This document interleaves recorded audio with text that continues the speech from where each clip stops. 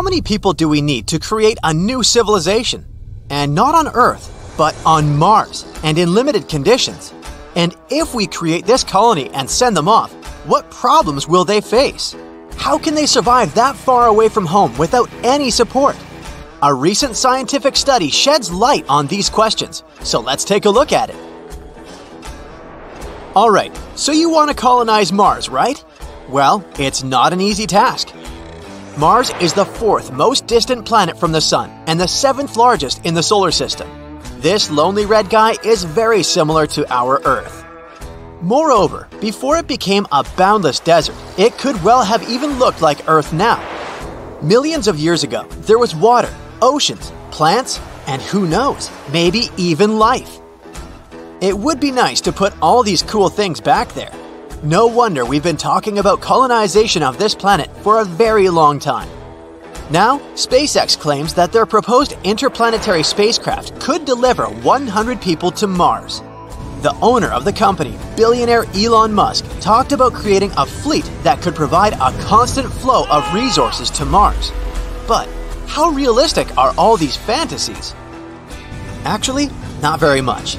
Before sending people to Mars, we need to solve a number of issues. For example, the incredible radiation exposure, toxic soil, low gravity, low temperatures, and all sorts of other nasty things.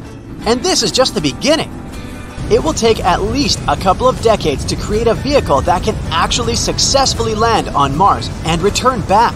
But let's do a thought experiment and imagine that we finally decided to colonize Mars. How will things turn out? Recently, scientists published a new study on this topic. This study is called Minimum Number of Settlers for Survival on Another Planet. The author is Jean-Marc Salotti, professor at the National Polytechnic Institute of Bordeaux in France. His article was published in the Scientific Reports Journal. As you might have guessed, the study was trying to find out how we could colonize another planet. How many resources do we need? How should this colony live? What kind of work should they do? And how long will it take? And, of course, exactly how many people do we need for all of this? Let's try to answer that. Now, imagine that we've moved into a wonderful future. Well, not really, a terrible future, actually. In his study, Salotti suggested that life on Earth was threatened by some catastrophic event, so the only way for humanity to survive is to go to Mars or some other planet. In this imaginary scenario, unfortunately, the supply delivery from Earth was interrupted, or even gone. Now, the colony has to support itself somehow. Well, here's where we already stumble upon a bunch of problems. For example, we're not sure how well the people in the colony will work together. Hey! Will they communicate with each other like normal human beings? Will they share their time and resources as they should? Humans are constantly ah. ruining things for other humans. I can even bet that it was their fault we had to flee to Mars. But even if we forget about that, how about organizational issues? What equipment do we have? What will we use to extract resources? What skills would we need?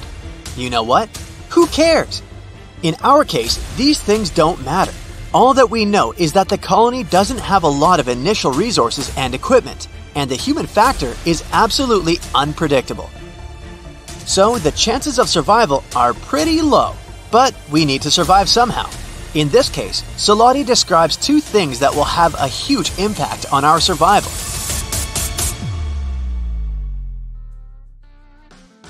These things are essentially variables in a mathematical equation. The first one is the availability of local resources. Basically, it means water, oxygen, and all sorts of useful chemical elements. These resources should be somehow mined and easy to use. Fortunately, we're not starting from scratch. We already know a lot about Mars. What resources are there? How can they be used for life support, agriculture, and industrial production? The colony is lucky because all this has been studied at various seminars and published in reports and books over the past years. Thanks to this, we know what will be available to our colony. For example, we know that gases could be extracted from the atmosphere and minerals from the soil. On Mars, we could provide such things as iron, glass, and even organic compounds. The most important problem here is the service life of the equipment that our new Martians start with. They'll have to get as many materials as possible before the tools break. Keeping them in good condition will be almost the most important task. The second thing is the production capacity, or the speed of work. We have a specific list of things we need to do, make some tools for example, and all this must be produced in sufficient quantities before the literal deadlines. Salotti says that the most important thing here will be the so called sharing factor. Imagine one person trying to survive on Mars. They would have to do all the tasks on their own. They would need to find or build their own system for supplying drinking water, oxygen, and electricity generation.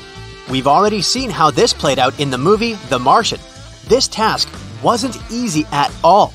There's always not enough time, and all of this is just too much for one person to handle. Unless you're Matt Damon, of course. So, surprisingly, we need a fairly large colony. This significantly distributes the burden. Each person spends less effort, gets tired less, and as a result, the efficiency and speed of work grow. This is where the sharing factor comes into play. Now we need to calculate this number. If we want, for example, to build something, how many people do we need to do this quickly and efficiently? How can we optimize the work as much as possible? Well, it depends on the needs of these people, on available resources, random things like weather, and so on. But in general, this number can be estimated and calculated using some mathematical functions.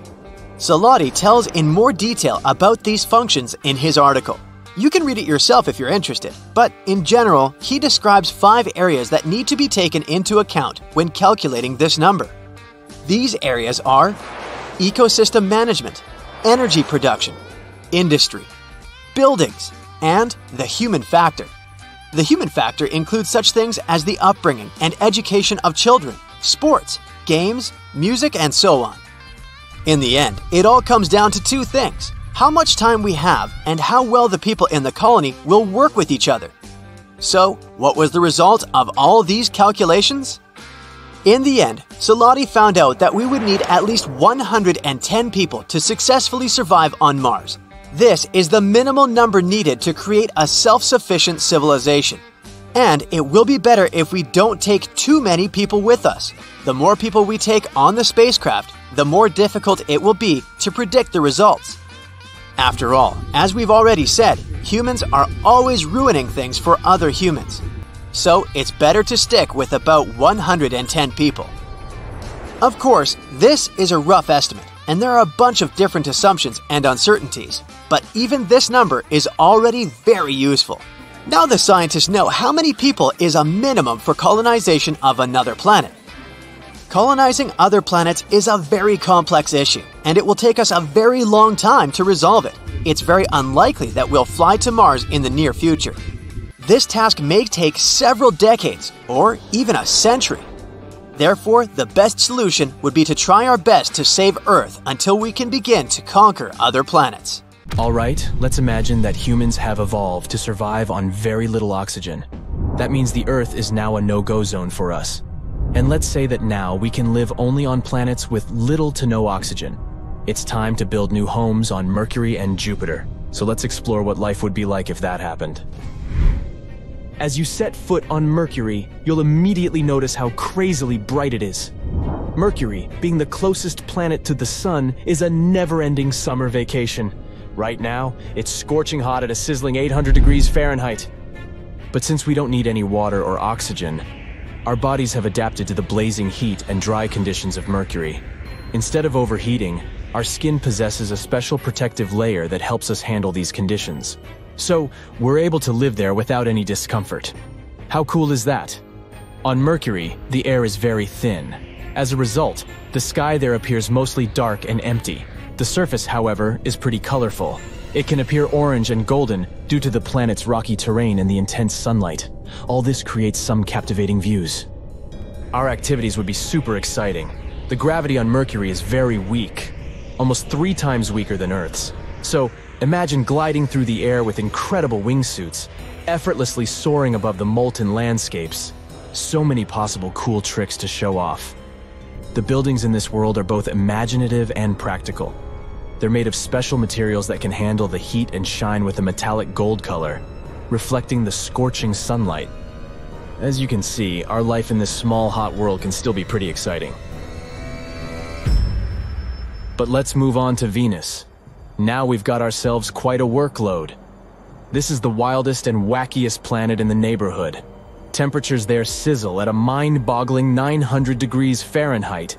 But guess what? Our bodies are cool with it. We can handle extreme temperatures. The winds there are crazy fast, reaching speeds of 224 miles per hour.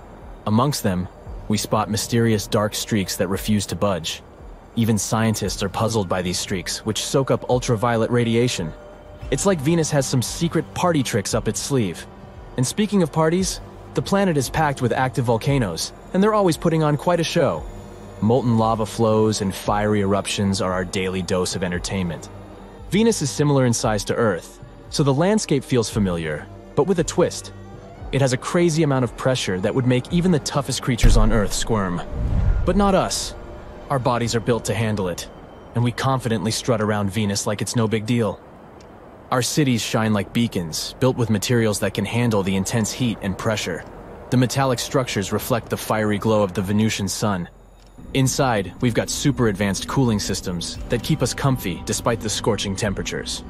We surf on streams of molten lava, safely of course, and explore the volcanic landscapes. Pretty exciting, isn't it? But still, how about moving to a more friendly environment? Like Mars, moving to Mars is one of our biggest goals. Its surface is a colorful canvas with hues of brown, gold, and tan. It's covered in rusting iron, regolith, which is like Martian soil, and dust. We would also be surrounded by volcanoes, impact craters, crustal movement, and mighty dust storms. As we gaze into the sky, we're greeted by Phobos and Deimos, Mars's moons. The sky itself is hazy and painted in shades of red, and becomes blue during the sunset, opposite to what we have on Earth. The temperatures on Mars can be quite extreme. Sometimes it's as mild as a comfortable 70 degrees Fahrenheit, while at other times it plunges to bone-chilling lows of around negative 225 degrees Fahrenheit. But once again, let's assume that our bodies have adapted to handle these swings. We've also developed ways to safeguard ourselves from meteorites and asteroids, these guys will be our frequent guests. The thin atmosphere of Mars doesn't provide much protection from them. Out of all the planets, Mars would be the easiest one for us to adapt to. Our next candidates, though, are not that hospitable. Living on Jupiter, the gas giant is a whole new level of adventure. Since there's no solid ground to walk on, we've come up with some super cool ways to call this place home. Picture floating cities like gigantic bubbles, suspended in swirling gases and liquids. They're specially designed to withstand extreme pressures and temperatures. To get around, we have jetpacks and hovercrafts. Imagine floating amidst Jupiter's majestic atmosphere, surrounded by cold, windy clouds of ammonia and water. These vibrant stripes and swirls paint the planet with a colorful palette. We zip through the colorful clouds, enjoying a mesmerizing kaleidoscope. Our homes and cities are filled with vibrant colors and shimmering lights. We've even created artificial gravity zones, where we can experience a semblance of gravity and walk with a bounce in our step. But be careful, Jupiter's powerful storms can be intense. Luckily, we have advanced weather prediction technology that keeps us safe. We watch the mesmerizing light shows of lightning dancing across the sky, marveling at the raw power of nature. All this sounds pretty fun, doesn't it? Well, what about the next gas giant Saturn? Once again, we can live in the skies of Saturn, right among its beautiful rings. Our cities are like big colorful balloons that sparkle and shine with bright lights. Inside, we have large domes where we can freely enjoy everything this incredible planet has to offer. Instead of walking, we use special devices that make us glide through the air, just like on Jupiter. In this extraordinary place, we had to discover new ways to generate power. We use the energy from Saturn's powerful storms. These sources of energy help us fuel our floating cities, giving us the electricity and resources we need to thrive. Saturn has many moons, and each one has its own special features. We've set up outposts on some of these moons, where we can go on exciting adventures and explore their mysterious landscapes. But if living on a gas giant wasn't challenging enough, we also have ice giants in our system, Welcome to the fascinating world of Uranus. Despite the super chilly temperature of negative 353 degrees Fahrenheit, we've come up with clever ways to make this place livable. To create warmth, we can learn from Earth's greenhouse effect. Like a cozy blanket, we can introduce special gases into Uranus's atmosphere that trap heat. Another idea is to build gigantic mirrors to capture and reflect the sun's heat. But let's be honest, it would be quite a challenge to position all those massive mirrors just right. Our homes are designed to withstand extreme conditions. We use dense fluids like methane, ammonia, and water to build structures that keep us warm and cozy. Our habitats provide shelter from the freezing temperatures outside. We may even discover new forms of life that have adapted to the unique conditions of this icy giant. Now that would be chilling for sure. And finally, we have Neptune. It is the cool and distant cousin of the solar system. Neptune's atmosphere is mostly composed of hydrogen, helium, and methane.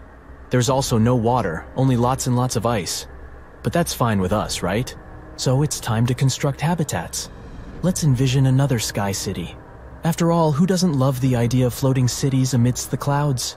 Imagine gazing out from your sky city, observing the mesmerizing hues and swirling storms of this ice giant. The vibrant colors of the atmosphere would paint a breathtaking backdrop for our daily adventures. We'd explore the mysteries of Neptune's moons, delving into their icy landscapes and uncovering the secrets they hold. Hey, a world where humans don't need oxygen or water to survive doesn't sound that bad. We'd soar through the skies and roam vast landscapes. The only limits we would have would be the limits of our own imagination. So stay tuned for more captivating what if scenarios.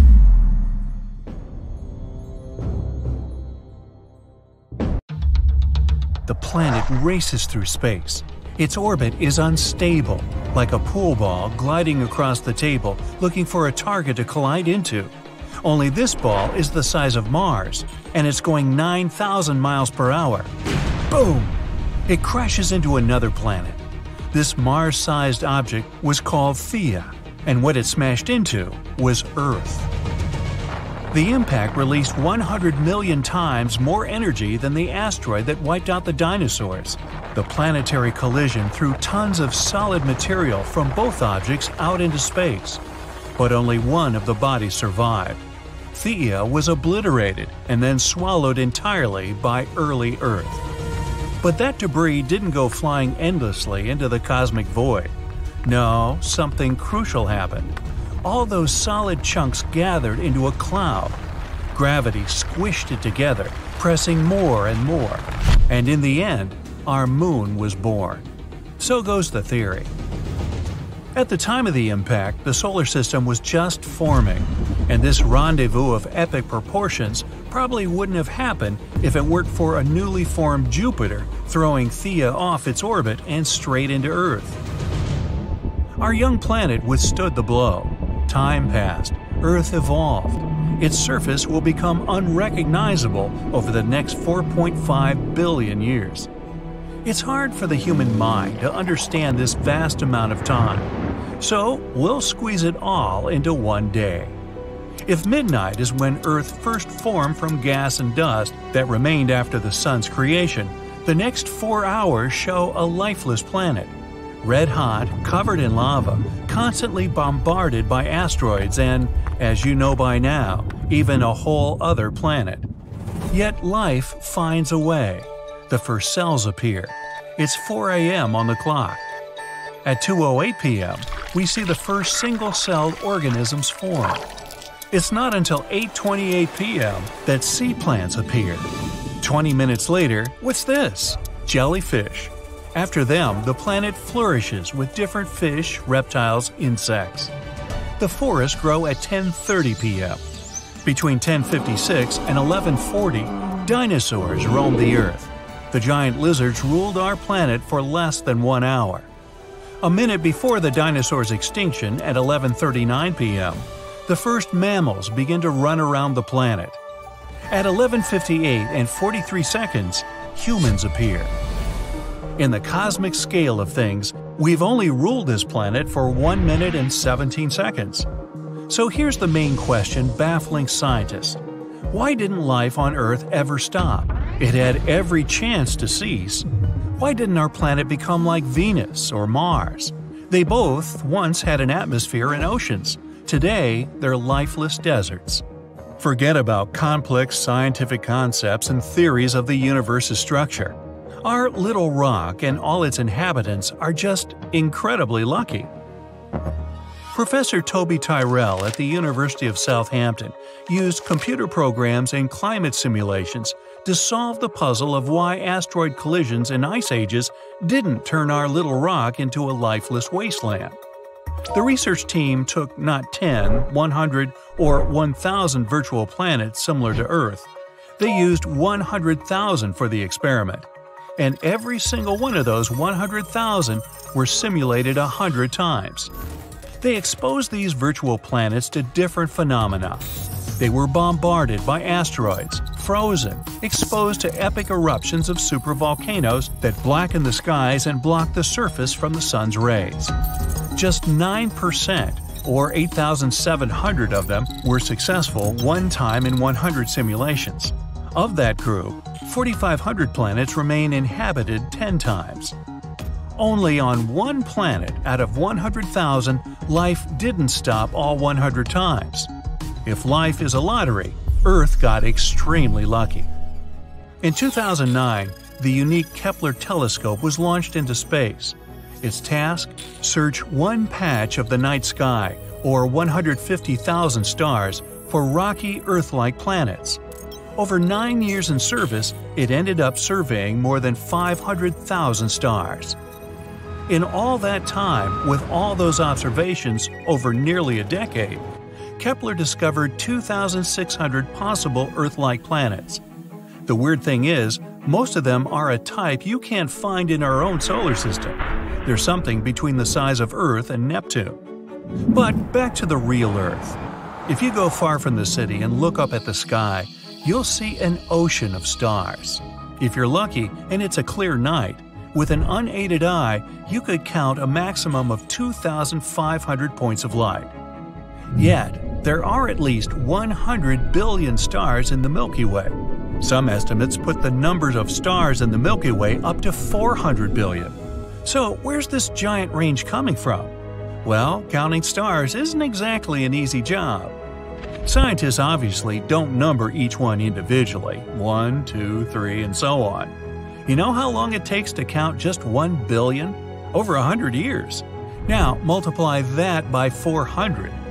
Instead, they look at small patches of space and use some complex scientific formulas to make educated guesses of how many stars there are in total. You can do a similar experiment yourself. Imagine a bucket filled with 10 pounds of rock, sand, soil, and other items. Your job? understand how many rocks are in that mix. We'll count only those rocks that are visible to us from above.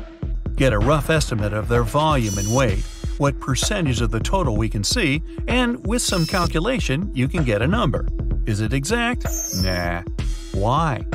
Because you can't know if the rocks in the bucket are spread evenly throughout, or if they're all about the same size throughout. What if the ones at the bottom, if there are any, are bigger or smaller than your sample view? They could have completely different weights and volumes. That bucket is our Milky Way galaxy, and the rocks you are counting are stars. The point? Scientists can't know for sure how many stars there really are. Maybe 100 billion, or perhaps four times that. Of those, 4 billion are like our Sun, with our own galaxy, the most accepted estimate for planets that could potentially support life is 300 million. Though, as the tradition of scientific inexactness goes, that number could be up to 5 billion or more. Either way, lots of real estate to choose from. And that's just the Milky Way. But get this it's just one of 200 billion galaxies in the observable universe. The most recent research puts that number 10 times higher, something like trillions of galaxies in space. And we've only studied less than 10% of them. As for how many stars there are in the universe, scientists put it at 1 septillion. That's 1 followed by 24 zeros. Again, it's all estimates because we can't know for sure. So far, one thing is clear Our Earth is the only place in the universe that we know of where there's life. And this planet has done everything it can to change that. Over the past 540 million years, more than 20 major extinction events have occurred. The last one was 66 million years ago. Yep, it was the one that took out the dinosaurs, and 75% of all life on this planet for that matter. An object 7 miles across in diameter smashed into our planet. It was going 120 times faster than the fastest car today. Over 900,000 miles all around the impact site, everything caught fire. A huge tsunami swept across the world's oceans. Billions of tons of dust and sulfur rose into the sky and blocked the sun's warm rays. A global cooling came to Earth. A little over 200 million years ago, there was a lesser known extinction event that wiped out half of all life on the planet. Most likely volcanoes or an asteroid strike are to blame. Other theories say the movement of tectonic plates triggered another ice age. At that time, huge crocodiles ruled the Earth. They disappeared, and new animals entered the arena of history dinosaurs. But the worst this planet has ever seen was the Permian Triassic event about 250 million years ago. 80% of marine life, 70% of land animals and plants, all gone. Volcanoes spewed out a colossal amount of lava where modern day Siberia is, but it affected the entire planet. Around 445 million years ago, the dominant life form on our planet was marine invertebrates. There was only one continent, Gondwana, and plants were just starting to flourish on land. But something happened that took out 75 to 85% of all living organisms. It could have been an ice age, rising temperatures, or a more daring theory. Some think it could have been a huge star exploding 6,000 light years from Earth. It launched a jet like gamma ray burst that ripped across space, and poor little Earth happened to be in its path. It burned off the ozone layer instantly. Yeah, we kinda need that thing to protect us. Case in point, no matter how much this planet, or even the universe, tries to wipe out life on Earth, which is here in the first place from unbelievable odds, life always finds a way. Now, space missions used to be this big deal, but now they're starting to feel like a walk in the park. But there's a catch. Our bodies aren't exactly built for surviving on other planets. Now, I know what you're thinking. Our bodies will eventually adapt and evolve, right? Well, yeah, evolution is always on the clock, but let's be real here. It's not going to happen overnight. We're not talking about a cool million years for some changes to kick in. And honestly, who's got the time for that? So, how about tweaking our genes just a little bit to make living on other planets easier? Genetic modifications are all about changing an organism's genetic material, like its DNA, to give it some cool new traits or characteristics. Now, picture this scientists could totally mess around with our genes to make us more resistant to crazy temperatures. You know, like the temperature fluctuations of the moon, minus 298 degrees Fahrenheit at night to 224 degrees Fahrenheit daytime. Wow. They might even figure out a way to make us super tough against radiation, which is a huge deal in space or on planets with weak atmospheres. We definitely don't want to get fried out there. Oh, and here's another thing they could do tackle the effects of low gravity. Spending too much time in low gravity can really mess up our muscles, bones, and even our heart. But if they tweak those genes related to muscle and bone growth, we could become super strong and resistant to all those nasty effects. However, it's not as simple as it might seem. The technology for safe and precise genetic modifications is still in its early stages, so it might even take as much time as it would for our bodies to naturally evolve and adapt to other planets. There are a couple of nice exoplanets where humanity might potentially live. I'm talking about Gliese 667cc, Kepler 442b, Kepler 62e, Kepler 452b, Gliese 837, you name it. In fact, I'm sure you can do a better job of naming than these. Now consider Gliese 667cc. Um, in fact, let's nickname this one Gary for short. Turns out that Gary gets about 90% of the light that Earth does.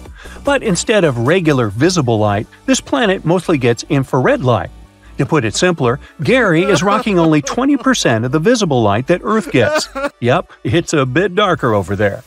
So, do we need really warm clothes and night vision goggles to thrive on this planet? Nah, not really. In addition to darkness, Gary is estimated to have a higher mass than Earth, meaning it hmm. likely has a stronger gravitational pull. To adapt, humans would need to hit the gym at least twice a day. Translation? Humans would need to develop stronger muscles and bones to withstand the increased gravity. Over generations, natural selection might favor individuals with these adaptations. We still know too little about these exoplanets to move there anytime soon. Hey, how about some planets in our solar system? Let's discover our top picks. This way, we can easily figure out what changes we need to make. So, first things first, let's eliminate the two ice giants in our solar system and their friends. Yep, Neptune, Uranus, and the two gas giants, Saturn and Jupiter. Sorry guys, but terraforming you is just not gonna happen. Even so, we still have four super cool candidates right here in our solar system. You all know them well Venus and Mars, the popular kids on the block. And then we have Jupiter's moon, Callisto, and Saturn's moon, Titan. They might not be as famous, but they've got some serious potential to become Earth 2.0. So, it turns out some of Jupiter's moons are super cool for terraforming. They're packed with water, which is a big plus. But here's the catch only Callisto is far enough from Jupiter's radiation belts. You see, on Earth, we get hit with about 0.24 rems of radiation per year. But, for instance, Ganymede, another of Jupiter's moons, gives away a whopping 8 rems per day. Just to make it clear, professional workers here on Earth can't have more than 5 rem per year. Callisto is different though. We don't need to tweak our genes as it only gets about 0.01 rems per day, which we humans can totally handle. Now, let's not get too carried away with the idea that life on Callisto is all sunshine and beaches, like in California. Nope, it's more like an icy wonderland out there. So, if you ever find yourself on Callisto, make sure to pack your snazziest protective clothing and some high tech heating systems. Honestly, at this point, we might as well wish for evolution to take us back to our furry animal days. I mean, think about it. Our ancestors were rocking some serious fur game, just like those cool chimps and gorillas. But as time went on and we got all fancy with our evolution, we decided to ditch the fur coat and go for a more minimalist look. Now, why did we lose our fur? That's a question that has puzzled scientists for ages. Darwin thought it was about finding less hairy mates, while others believed it was to keep those pesky lice away. But these days, most researchers think it all comes down to staying cool. Picture this our ancestors were strutting their stuff on open, dry lands after they learned to walk on two legs. Think of a patchy forest or a sunny savanna instead of a lush rainforest. In that kind of environment, overheating was a real threat. So, we evolved to have less body hair and more sweat glands to help us cool down by sweating like crazy. Now, Titan, the moon of Saturn, is like a treasure chest of resources just waiting to be cracked open. We're talking hydrocarbon reserves that make Earth's look like a kid's play, with petroleum for days. Plus, it's got all sorts of organic compounds like methane, ammonia, and water. And don't forget, its atmosphere is a nitrogen party, just like early Earth's. Here's where it gets really interesting. If Titan's atmosphere is similar to what Earth used to be, we could totally transform it into a modern Earth like atmosphere. Picture this giant mirrors in space beaming sunlight onto Titan's surface, heating things up and releasing water vapor. Oxygenated atmosphere coming right up. And to top it off, Titan hangs out within Saturn's magnetosphere, so it's shielded from those pesky solar winds. Now, Titan's gravity is about one seventh that of Earth, which could lead to muscle and bone deterioration over time.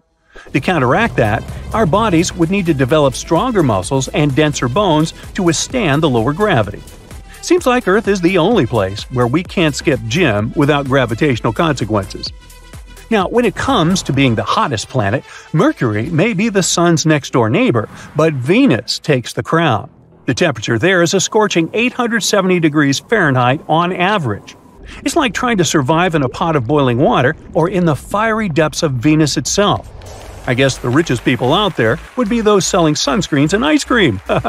Sorry, folks, no amount of evolution can turn us into superhumans who can handle Venus's extreme conditions. The only beings that theoretically could possibly thrive there are tardigrades. These tiny, cute little critters that look like caterpillars and have some seriously impressive toughness. They can survive boiling water, the darkest depths of the ocean, and even the freezing, airless emptiness of space. In fact, they were part of a scientific study on a spacecraft that unfortunately crashed on the moon. Still, recent research proves that even these guys won't survive on Venus. Now, look at this guy. He's been kicking it on Mars for ages, which explains why he's rocking the wrong shade of self tan. Turns out all those carrot loving carotenoids in his diet, like sweet potatoes, bell peppers, tomatoes, and pumpkins, are the aces up his sleeve protecting him against UV rays. The more he munches on those, the more he turns into a walking orange. And let me tell you, his strength? It's all about that Martian gravity, my friend. The gravity there messes with our perception of weight. So, if you want to be a boss on Mars, you gotta chow down big time. Like, if you weigh 150 pounds on Earth, it feels like you're carrying no more than 55 pounds on Mars. So, overindulging in food can totally help bridge that gap between gravity and weight. Ooh, time to feast like a Martian. The only life that we are certain about so far in the entire universe is on planet Earth. Whether that life is intelligent is, let's say, arguable. But anyway, it's not surprising that we're tirelessly searching for life on other planets. So far, they've discovered more than 4,000 of them. But what's even cooler? NASA has compiled a new list of 24 planets that aren't just Earth like, they're better. The conditions on them are so good that they're more comfortable than on our planet. So let's examine some of them. KOI 5715.01. Hmm, let's be coy, shall we? this wonderful planet is in the constellation Cygnus. And why is it so wonderful? Well, our sun is a yellow dwarf. And sorry, sun, even though you're not bad at supporting life, there are some stars that can do it better. Nothing personal. The planet Koi 5715.01 orbits near an orange dwarf. Orange dwarfs are stars slightly smaller than our sun and have a little lower luminosity. Uh, did you like the alliteration there? Anyway, don't worry, it doesn't mean we're going to live in complete darkness. In fact, if the planet is found closer to the Sun and it has a thicker atmosphere, it may even be lighter and more colorful than on Earth. Now, our Sun has a very short lifespan. Right now, it has 7 to 8 billion years left to live, a little longer than Earth's age. But orange dwarfs can live from 45 to 70 billion years. This is great not only because we'll be able to hang out on this planet longer, but also because the planets around these stars have more time to form life. Now, ideally, we would need to find a planet next to an orange dwarf that is about 7 billion years old. It's very likely there will be at least some organisms there. Koi 571501 is about 5.5 billion years old. Yeah, it may not seem mature enough, but that's okay, neither do I. Our Earth is a billion years younger, and that didn't stop us. The planet is quite close to its star and is in a habitable zone. One year there lasts 190 days. Imagine going to elementary school and already getting a driver's license. it's almost two times larger than the Earth. The average temperature there is 52 degrees Fahrenheit, which is slightly less than ours, 57 but it mostly feels warmer there because strong gravity helps it hold on to heat in the atmosphere longer. It's a little too far away though, like 3,000 light years from Earth, which is about 18 quadrillion miles. Yep, better bring a really big lunch with you. Koi 3010.01 This planet is found next to the star Koi 2010. This planet sounds like a very pleasant world. The average temperature on this planet is 67 degrees, so a little warmer than ours. But that's a good thing. Scientists believe that on a perfect planet, the temperature should be just about 10 degrees hotter than on Earth. The more heat there is on the planet, the more comfortable it is to live there. Also, the higher chances of developing life. The radius of this planet is nearly one and a half times larger than Earth. There's some atmosphere, although we're not yet sure about its composition, but it's probably like the Earth's. Scientists think that we'll find an ocean there, and it can cover up to 60% of the surface, which is also cool.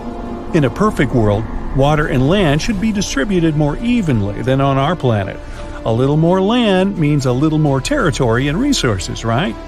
But listen, this planet is actually very similar to the Earth. The semblance is so striking that scientists believe we have an 84% chance to find life there. Of course, not necessarily an intelligent life, but at least some animals. Wouldn't that be cool? Now, what do you think they could look like? Hmm, very Earth like planet, but with stronger gravity. Well, if someone lives there, they're probably big but have a small height and strong little legs. Sounds adorable and scary. But we won't be able to find out the truth anytime soon. So far, for us, these planets are microscopic dots in space. We only have some dry, boring data about them and don't even know what they look like. We'll have to wait until we can find a way to get closer to these planets. Kepler 186f.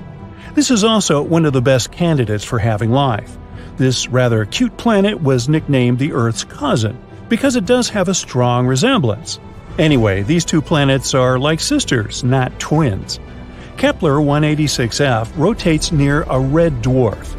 Red dwarfs are stars even dimmer and smaller than orange dwarfs. Yeah, they'll also live for a very, very long time, but their luminosity is also quite low. However, Kepler 186f is closer to its star than we're to our Sun, so it shouldn't be too dark there. Well, at least not night like dark. The sky on this planet is sure to be an unusual shade of red, like sunsets on Earth. What do you think? Would you like to live on a planet with an eternal sunset? The size of this planet is about the same as Earth. Not bad, not perfect. Why so? Because the coolest planets are those that are bigger than Earth and have stronger gravity. Now you'll probably say, but wouldn't it be harder to walk there and even harder to get out of bed on Monday? of course. But on the other hand, this planet will pull the atmosphere better. The atmosphere will be thicker and denser. This means more protection from the scary space stuff, more oxygen, and more heat. Not to mention the fact that the bigger planets have more space to settle. Awesome, right? But of course, the Earth's size is also an excellent choice. Another cool fact is that the tilt of Kepler 186f is about the same as ours. It means that there should be stable seasons and a normal day night cycle. Do you know how important the tilt of the planet is? Let's look at Mars. Mars is also, in fact, found in the habitable zone of our Sun, but its tilt is very unstable, and as a result, the entire ocean that could have been on it once now completely dried up. Today, it's just a red desert, and there's no life there. At least not as far as we know, but you see how important these tiny details are? This planet is also quite far away from us 490 light years. That's about 3 quadrillion miles, so, yeah, we're just going to keep waiting for intergalactic travel. Kepler 62e and 62f. These planets were called the most Earth like before we discovered Kepler 186f. They're very comparable to our home. Kepler 62e is about one and a half times larger than Earth, and Kepler 62f is just slightly smaller than that. They're located in the constellation Lyra, which is about 1,200 light years away from us. They both also orbit a red dwarf. One year on Kepler 62e lasts about 122 days, even less than on that first planet we talked about. Scientists believe that both 62e and 62f are sort of water worlds, warm places mostly, or even completely covered with water. If there is land there, it's probably just some islands. Hmm, a world consisting entirely of islands. A fantasy dream for some, think Hawaii, and a nightmare for others, think Megalodon. But if you're a fan of ancient marine animals, just imagine how gigantic they could be there. Still, there are many things we don't know about this planet. Does it have a surface? What about its composition, density? One day, maybe we'll be able to answer these questions. And so, that's it for the super Earths. Of course, the original list is much longer, and you can go check it out on the internet. Now, the best thing about all this is that these are planets that are better than the Earth. But we also know thousands of other exoplanets that are just close enough to ours. And the odds are, a few of them have at least some form of life. But they're very, very far away, so we have no way to check it out right now. Perhaps down the road, we'll find some cool creatures on many of them. For decades now, scientists have been discovering new planets outside our solar system. By 2023, we've found more than 5,000 of them, and many of these exoplanets could potentially even have life. Now, if you're ready for a wild ride through space, let's find out what potentially habitable planets we've discovered in the last few years. LP 890 9b and LP 890 9c. Buckle up because we're heading to LP 890 9, a red dwarf star located a whopping 105 light years away from Earth. This star is quite cool compared to our Sun, in terms of temperature, of course. It has a temperature of about 4,700 degrees Fahrenheit. Now, this little guy may be small, but is packed with surprises. For example, two exoplanets orbiting around it. Moreover, both of these planets are likely terrestrial, meaning they are rocky, just like Earth. First up, we have LP90 9b, which was discovered in 2022 using the TESS telescope and later confirmed by the Speculoos telescope. This planet is a super Earth, weighing in at about 13 times the mass of our own planet. It's also slightly bigger than Earth with a radius about 1.3 times larger.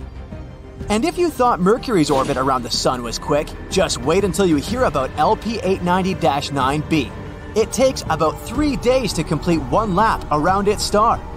Imagine falling asleep in freezing winter and waking up in hot summer. But the real showstopper here is LP 890 9c. This one was discovered by the Speculoos telescope. It's a bit further out from the star and takes a leisurely 2.5 times longer to orbit than LP 890 9b. It's also a bit larger than Earth. But its real claim to fame is its location within the habitable zone of its star. That means it could potentially have liquid water on its surface and a climate suitable for life. Now, this planet becomes a prime candidate for studying its atmosphere using the James Webb Space Telescope. But hold on. It's not all sunshine and rainbows for LP 890 9c. It's also really close to its star, meaning it's full of radiation that could potentially make it less habitable. And to top it off, it's tidally locked, just like our moon. That means one side of the planet is always facing the star and is incredibly hot, while the other is always in the dark and really cold. Scientific models suggest that this planet could be more like Venus in terms of its atmosphere and climate. And Venus is, you know, isn't known for being human friendly. But despite these challenges, LP 890 9c is still a fascinating exoplanet worth studying further. Who knows what secrets it may hold? Let's move on to the next candidates. GJ1002b and GJ1002c. An international team of scientists, led by researchers at the Instituto de Astrofísica de Canarias, has found two Earth like planets just 16 light years away from our solar system. They both orbit a red dwarf star called GJ 1002. Our Sun is a yellow dwarf, which means that GJ 1002 is much cooler and fainter than our own Sun. But that's okay. Both planets are very close to its star, so it shouldn't be too cold or dark on them. These planets, called GJ1002b and GJ1002c, are both in the habitability zone of their star, meaning they could potentially support life. Also, both of them have masses similar to that of Earth.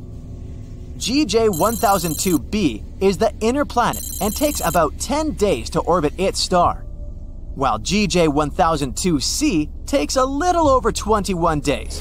These planets are great candidates for studying their atmospheres and could even be targets for future missions to search for signs of life. The most important thing is that these two planets could potentially support life, and that's pretty cool. Plus the fact that they're located so close to us means that we might be able to visit them someday. Well, maybe not us personally, but you know. And maybe one day, we'll even find some extraterrestrial life on one of these planets.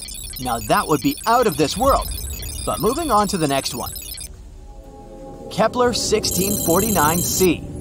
Kepler 1649c, also known as the Lost Exoplanet, was rediscovered in 2022 by scientists using data from NASA's Kepler spacecraft. This exoplanet is located about 300 light years away from Earth and orbits a small, cool star called Kepler 1649.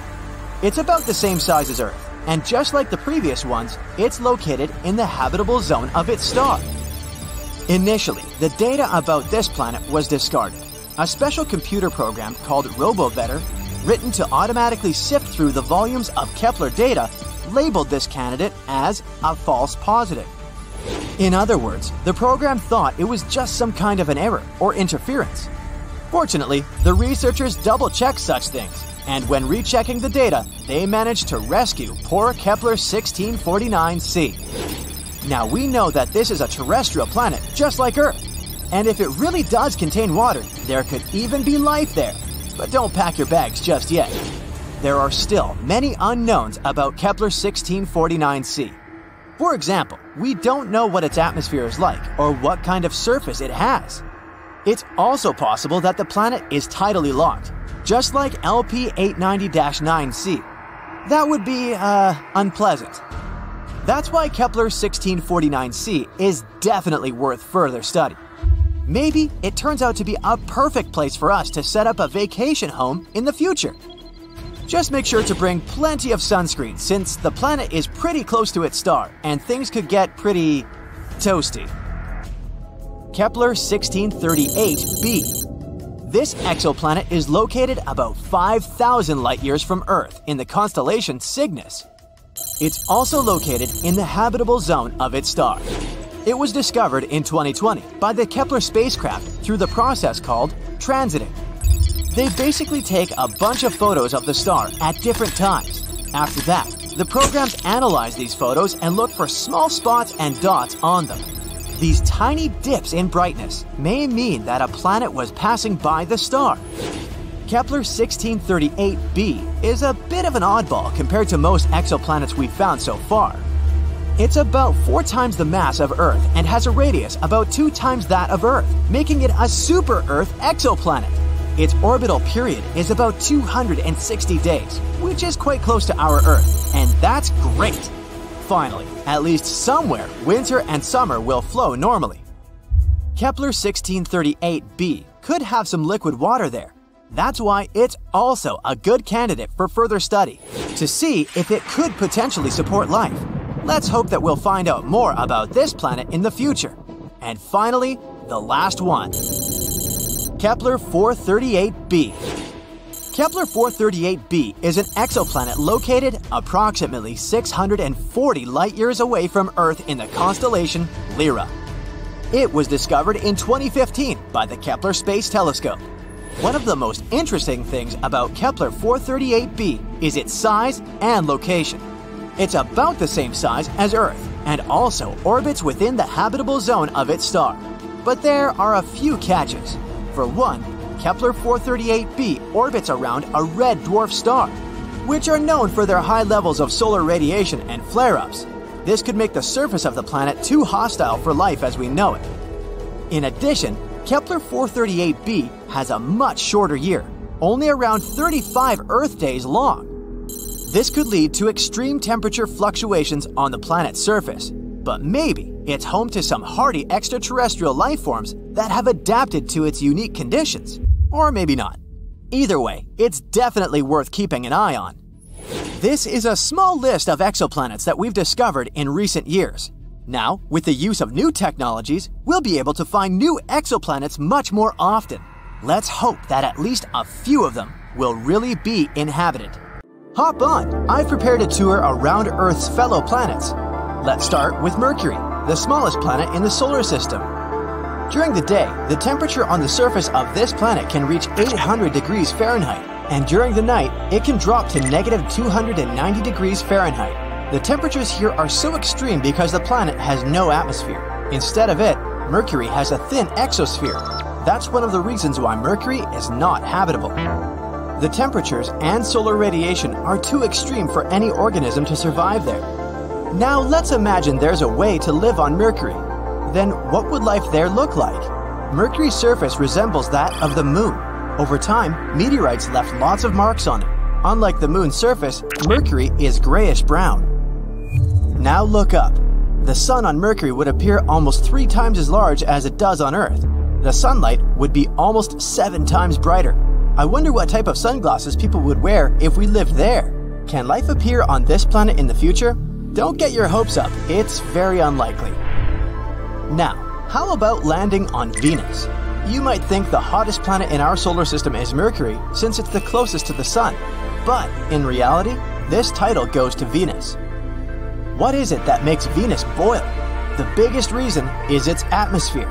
It's made up almost entirely of carbon dioxide. The atmosphere is so thick that it leads to the planet warming up non-stop. Basically, the gases in the atmosphere prevent thermal radiation from leaving Venus. So, the planet simply can't cool down. The water on its surface constantly turns into vapor. If the surface of Venus was food, then its atmosphere would be the microwave. That's why the temperatures in this world can go up to 870 degrees Fahrenheit. What would it be like to live on Venus? On Earth, Seasons change because of the planet's tilt, but Venus doesn't experience any significant changes throughout the year. Things are pretty constant at night and during the day, too. And what about the view of the sky? The clouds on Venus appear yellow or bright white. They're mostly made of poisonous sulfuric acid, but then why does Venus appear reddish orange when you look at it from Earth? Talking about the true colors of planets can be a tricky business. The hue of a space body might be different when you look at it from another planet. If we traveled all the way to Venus, a reddish-brown surface would welcome us. The molecules of carbon dioxide and sulfuric acid block sunlight coming into Venus's surface, hence the reddish-orange color of the planet. Oh, and did you know that Venus is often called Earth's twin? Both planets are nearly equal in size. Both have relatively young surfaces and thick atmospheres with clouds. Plus, the orbit of Venus is also the closest to Earth. That might raise a question about the possibility of life on Venus. I'm sorry to break the news, but nope. Venus is not habitable.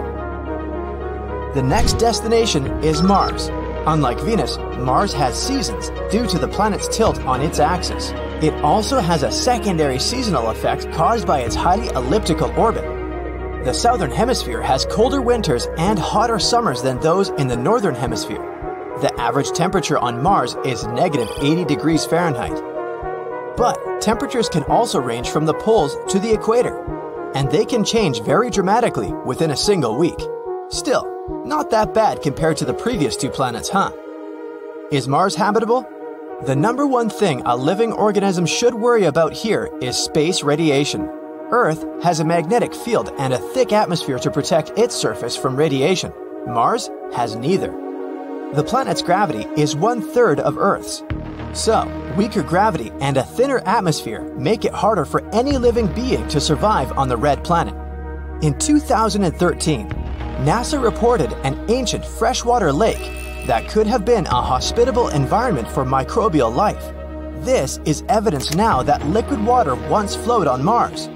This confirmation suggests that Mars could have had the necessary environment to support life. But what happened to the water on Mars? The most popular explanation is that the planet's atmosphere became too thin and cold to keep liquid water on Mars's surface. The disappearance of water might also be related to the loss of early magnetic fields. Or the reason might be the red planet's size. Mars is probably too small to keep water. So, for now, Mars is not habitable. But, you know, scientists keep sending missions to Mars. Maybe they'll find some new information. Let's wait and see. Now, Jupiter. Have you ever wondered what it might be like to live on the biggest planet in our solar system? Jupiter's environment is an unlikely place to support life. The temperatures on this planet and its composition are too extreme for any organisms to appear there. Jupiter has layers of gas, mostly hydrogen and helium. These gases fill the entire planet. Quite literally, there is no solid surface on the planet. Gases go all the way to the core, below the surface. They become liquid and turn into plasma because the atmospheric pressure there is way more intense than any place on Earth. To put it into perspective, an organism on Jupiter has to resist 1,000 times more atmospheric pressure than it would on Earth. Can a living being survive in such conditions? Unlikely. Jupiter is completely uninhabitable. But hey, have you heard that its moon Europa might be a possible habitable zone? Change of scenery. Saturn. It's the second largest planet in our solar system. Like Jupiter, Saturn is a gas giant ball mainly consisting of hydrogen and helium. What about temperatures on Saturn? It's freezing. Plus, there are extremely powerful winds there. The winds in Saturn's upper atmosphere reach the speed of 1,600 feet per second. Let's compare them to storms on Earth to have a better understanding. The strongest hurricane ever recorded on Earth was moving at 350 feet per second. So, the answer to the question, is there life on Saturn? seems pretty obvious. Life, as we understand it, doesn't exist there. The next stop is Uranus, one of the largest ice giants.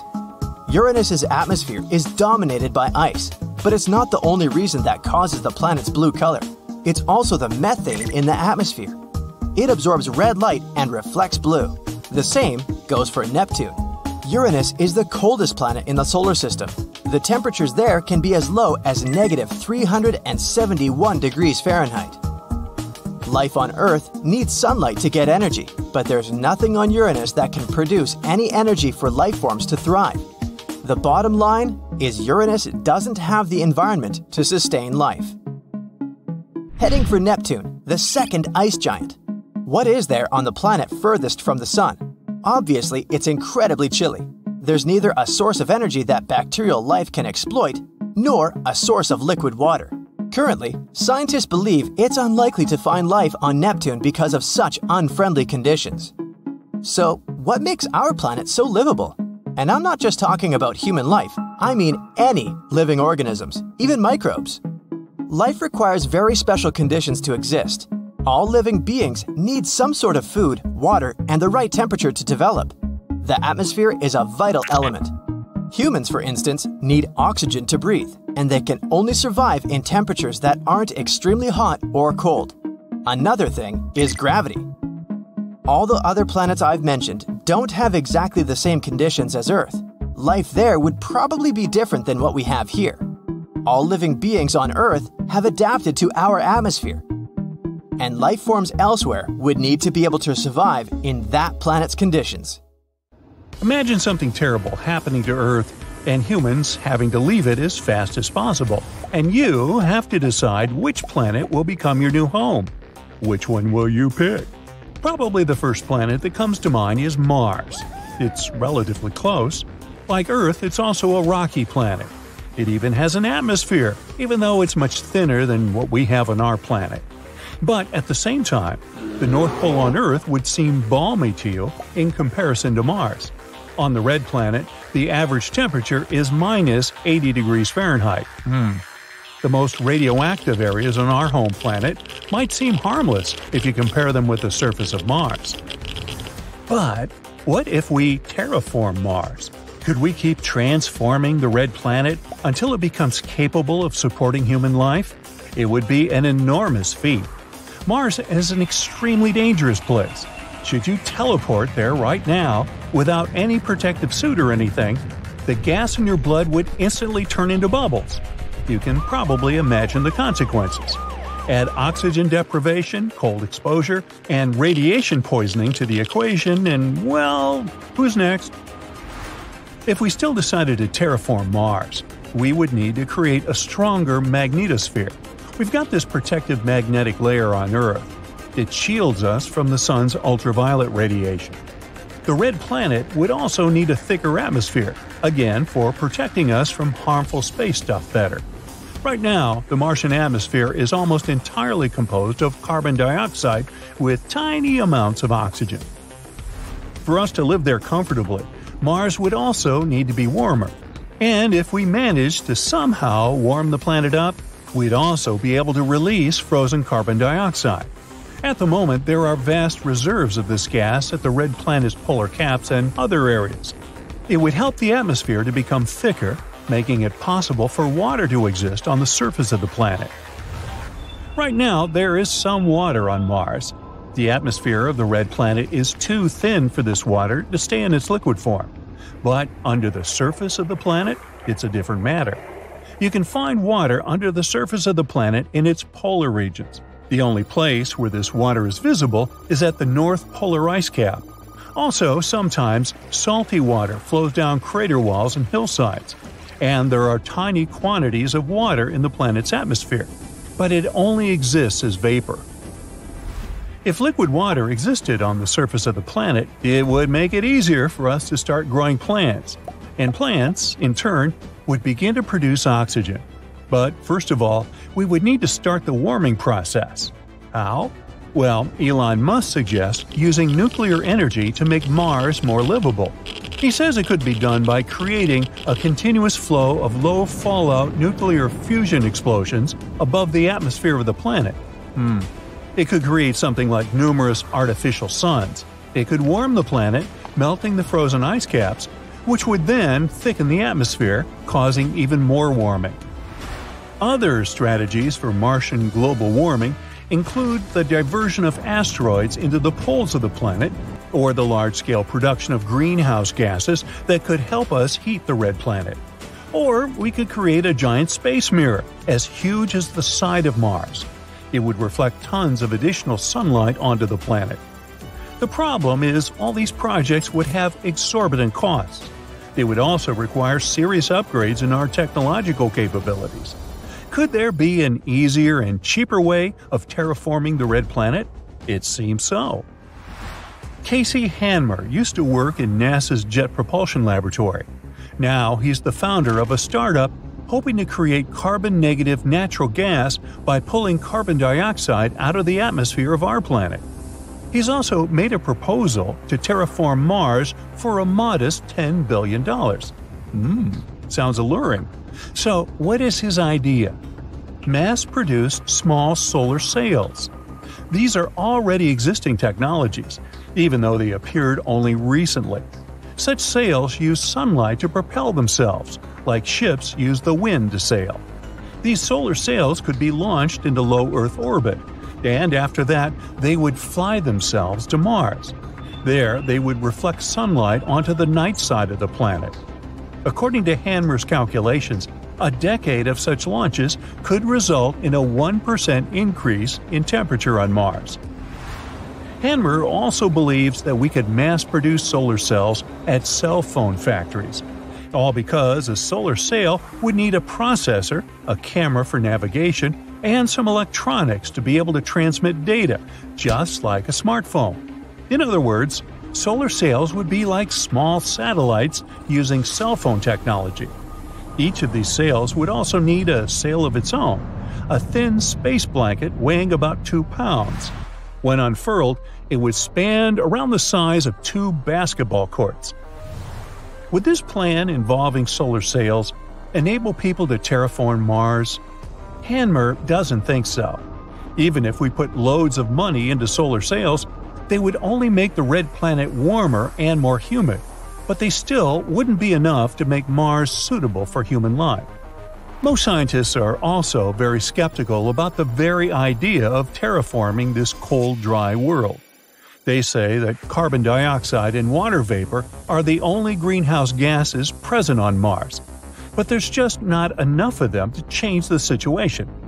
Let's say we manage to melt the polar ice caps with the help of Elon Musk nuclear technology or solar sails.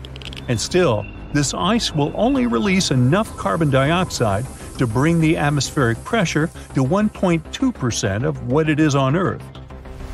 Plus, most of the carbon dioxide gas wouldn't be accessible, and we wouldn't be able to mobilize it.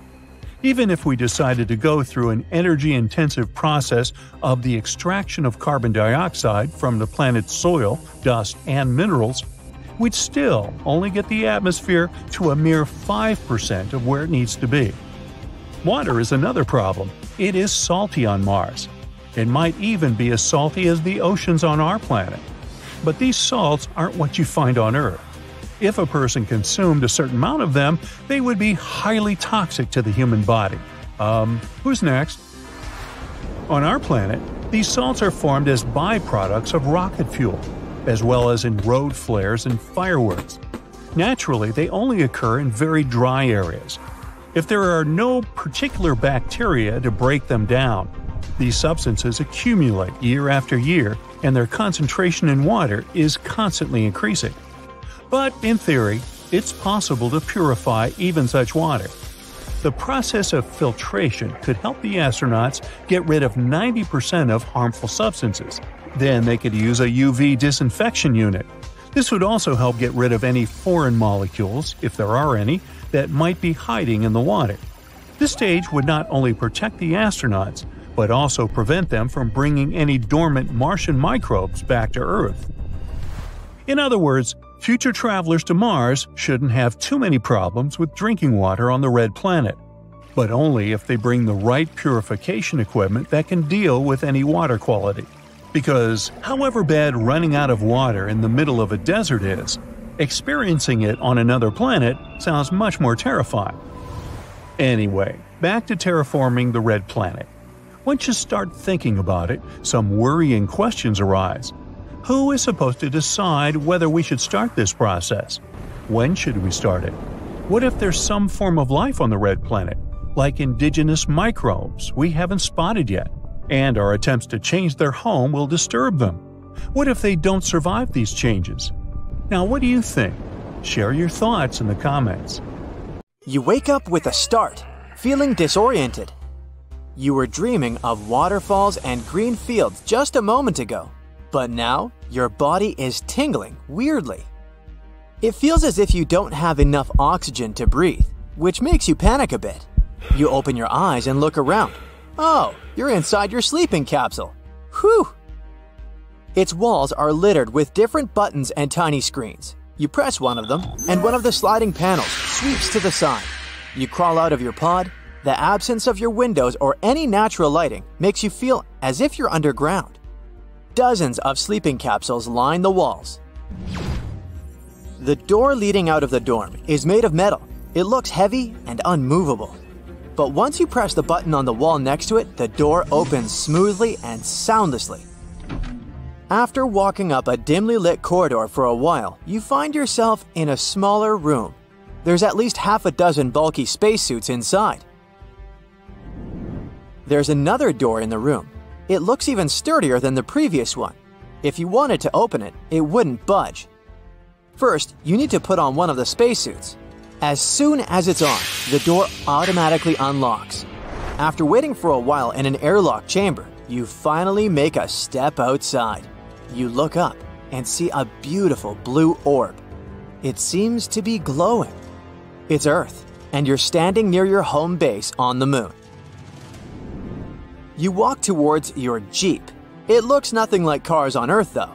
The vehicle you climb into is pressurized, and you can even take off your spacesuit, or at least your helmet, and ride in comfort. If you need to go outside, well, yes, you can't do it without wearing your protective gear. One of your favorite rovers, produced by Toyota, is the size of two microbuses and can easily fit two passengers and their gear. Of course, you've got the experience of riding it with three other companions. But duh, you were squashed like sardines that time. The vehicle can also unfurl solar panels to generate power. After dealing with all the tasks you had on your list, you come back to your lunar home. Unlike your house on Earth, it looks more like a castle.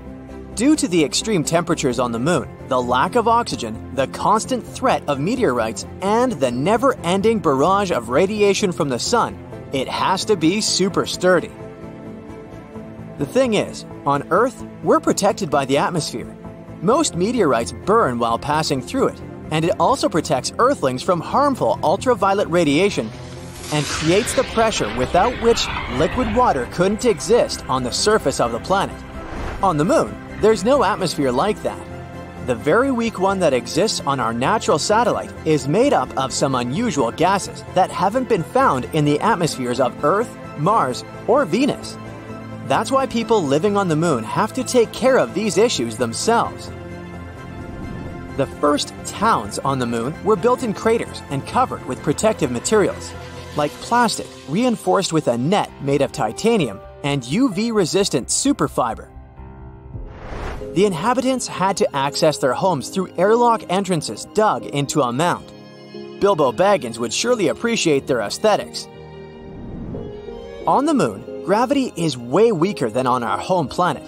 And while it makes it easier for you to walk and even run on the satellite surface, even despite your bulky spacesuit, it's not great in the long run. That's why inside lunar bases, there's an artificial gravitational field. Without it, people would have problems with coordination, balance, and orientation in space.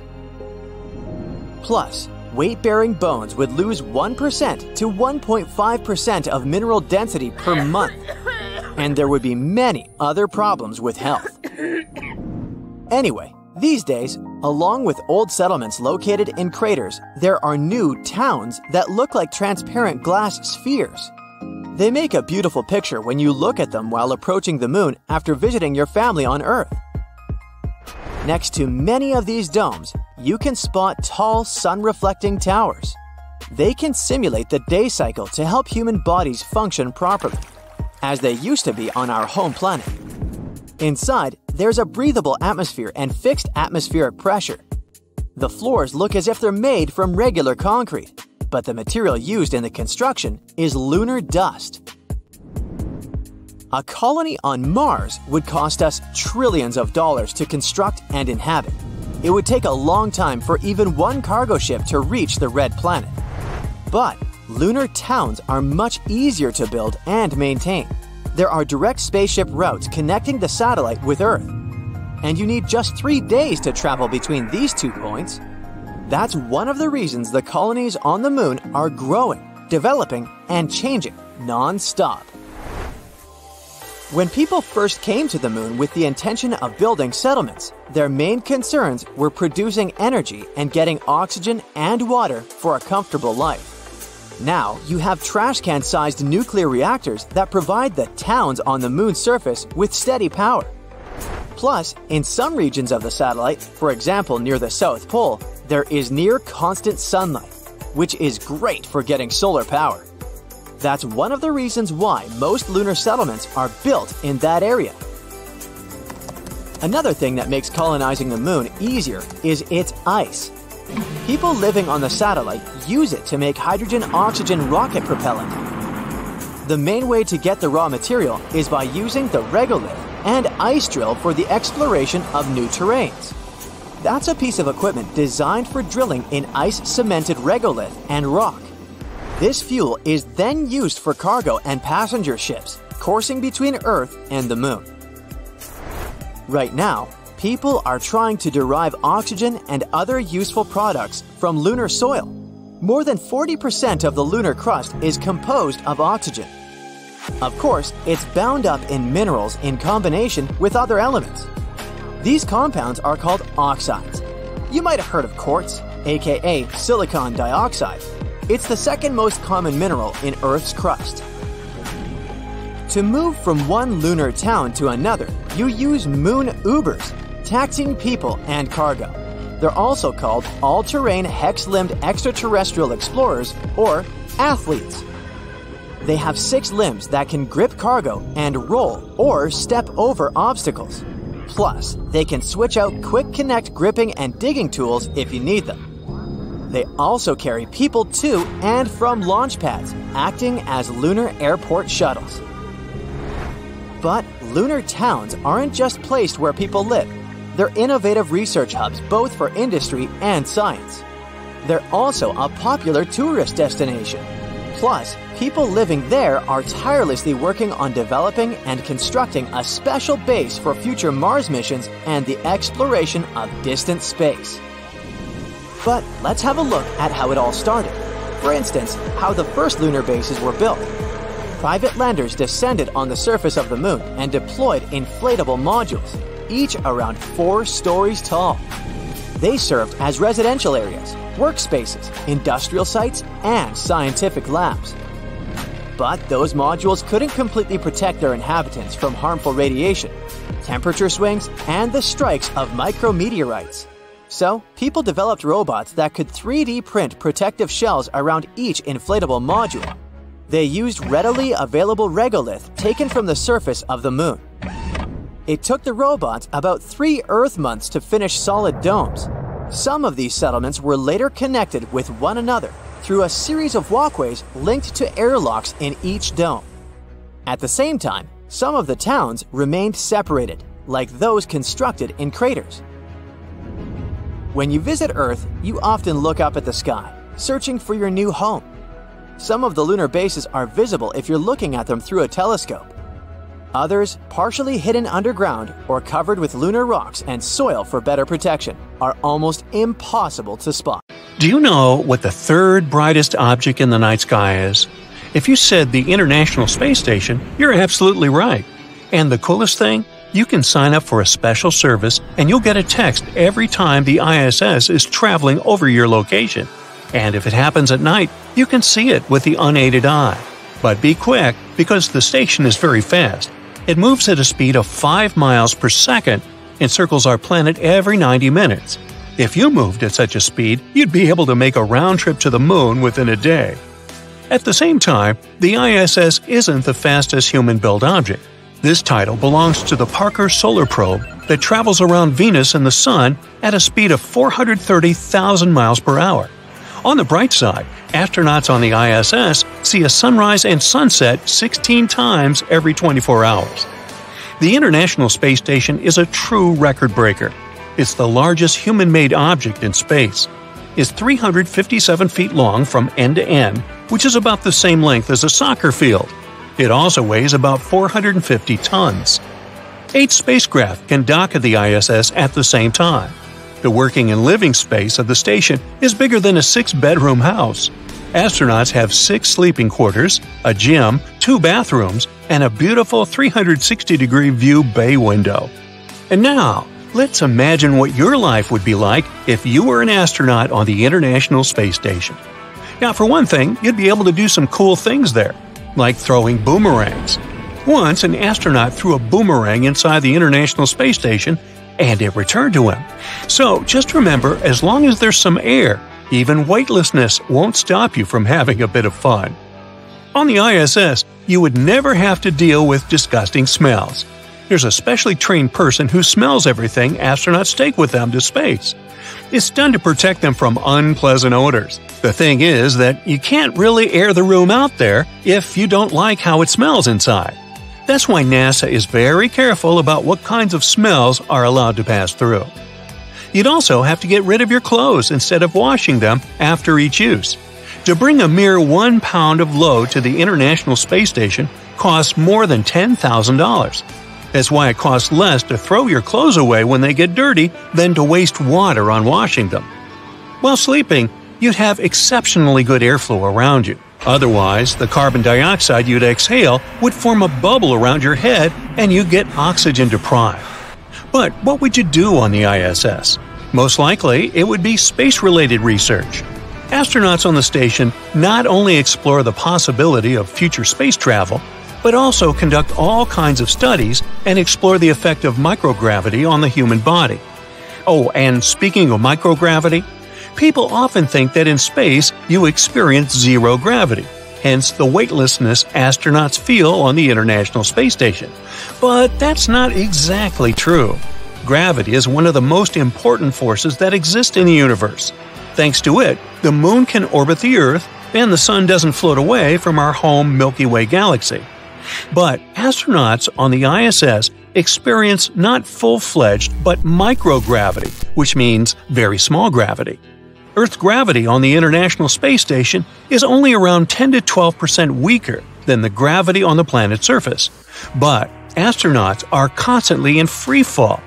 The spacecraft, the people inside, and all the objects aboard keep falling forward, not down, but around our planet, following a specific orbit. And since they're all falling together, the crew and the stuff inside seem to be floating. That's why astronauts can move things as heavy as hundreds of pounds with their fingertips. And even though microgravity is often called zero gravity, They're very different things. Anyway, on your way to the International Space Station, you'd be wearing a bright orange spacesuit. Its color is called International Orange, and it has the same shade as the paint that coats Tokyo Tower in Japan or the Golden Gate Bridge in San Francisco. But once you reach the vast expanse of space, you'd swap orange for Snow White. See, the thing is, the orange suit is equipped with the stuff that can help astronauts survive if something goes wrong during the launch or landing of the spaceship. For example, a regular pumpkin suit has flares, medications, survival gear, a radio, and a parachute. As for the white bulky spacesuits, those are EVA, which stand for Extravehicular activity suits. Their purpose is totally different from that of the orange suits. Astronauts put on EVA suits when going on a spacewalk. Such an outfit can protect them from the unfriendly conditions of outer space, with its extreme temperatures and the near vacuum. Besides, the white suit can prevent small debris from hurting space travelers. Oh, by the way, if you needed to scratch your nose while wearing your EVA suit, you would use a patch of Velcro inside the helmet. The lack of gravity also makes sneezing inside a spacesuit a serious problem. If you absolutely had to sneeze while on a spacewalk, you'd have to bend your head downward and sneeze into your chest. Otherwise, your visor would have to be equipped with tiny windshield wipers. Now in space, you'd often see random flashes of light, and those wouldn't be hallucinations. Cosmic rays hitting your optic nerve would create such an effect. You don't see similar flashes here on Earth because the magnetosphere doesn't let cosmic rays reach you. Before going to space, you'd have some underwater training. It's supposed to simulate zero gravity, but in fact, it has nothing in common with being in outer space. So, the main purpose of this training is to see how future astronauts can deal with extreme environments. Oh, and later, during space adaptation, you might feel, well, let's say, weird. Around 50 to 75% of astronauts have highly unpleasant symptoms, such as vertigo, headaches, nausea, and overall tiredness. Luckily, everything usually gets back to normal within 72 hours. Before you were chosen to fly to space, you'd have to get through incredibly tough competition. According to NASA, they accept only 8 applicants out of 6,000. On top of that, the selection process takes around 18 months. Now, if you felt homesick on a mission and started crying, your tears wouldn't flow down your face. Instead, they'd gather into thick blobs of liquid around your eyes because the water surface tension would hold your tears together. You'd have to remember to attach yourself to something before falling asleep. Otherwise, you can easily float away from the spot where you went to bed and bump into a hard surface. That's why astronauts usually rest in sleeping bags in a small crew cabin. Another issue you'd have to deal with would be taking a shower in microgravity conditions, and it's not an easy feat. Astronauts use a shower in an enclosed cylinder which keeps water from floating away. They use a no rinse shampoo, spray themselves with water to rinse off the soap, and finally use a vacuum hose that pulls inside all the water left on their body. You'd have to get used to a dramatic change in your diet. You'd have three meals a day, nothing outstanding here, but instead of sitting down to enjoy your lunch, you'd float around. Your meal would consist of some dehydrated and canned food items, and it might take a lot of time to finish it, since you'd have to be very careful not to let your food get away in the process. Now, imagine needing a haircut. After all, you'd spend no less than half a year on the ISS. To change your image, you'd have to use special clippers with a vacuum attached to them. Get your closet ready. We're moving to Mercury. Your mission is to find out what you need to wear there to feel comfortable. So, Mercury is the closest planet to the Sun in our solar system. It's pretty hot here, about 800 degrees Fahrenheit, twice as much as your kitchen oven can produce. You need a heat reflective suit like this. It looks like foil for duck roasting. The shiny, almost mirror like surface reflects the heat rays and keeps everything inside from getting baked. That's you. This suit is designed to get to the hearts of volcanoes on Earth and can withstand up to 1,470 degrees Fahrenheit. That's twice as much as at the equator of Mercury. Oh, and bring an oxygen tank. Otherwise, you won't be able to breathe there. And you need to strap some heavy dumbbells to your legs. Mercury is smaller than Earth. and gravity is almost three times weaker here. So you have to increase your weight almost three times to feel comfortable. It gets extremely cold there at night, so you need to stuff your thermal suit with insulation. But even that won't save you from the cold. It's three times colder than at the North Pole. Plus, Mercury's atmosphere doesn't protect you from solar radiation as well as Earth's. So, you need to wear thick lead plates under your suit for protection. But the best thing to do is just evacuate from this planet. The next one is Venus. Although it's called Earth's twin sister, the scenery here looks frightening. A hot desert with volcanoes and clouds so dense that you can barely see the sun. These clouds contribute to the greenhouse effect. So, Venus is the hottest planet in the solar system, 890 degrees Fahrenheit. But the usual heat reflective suit won't help you this time. The atmospheric pressure here is 92 times higher than on the surface of the Earth. That's like diving 3,200 feet underwater so the air on Venus will just crush you. To survive, you need an airtight suit made of titanium or other sturdy materials.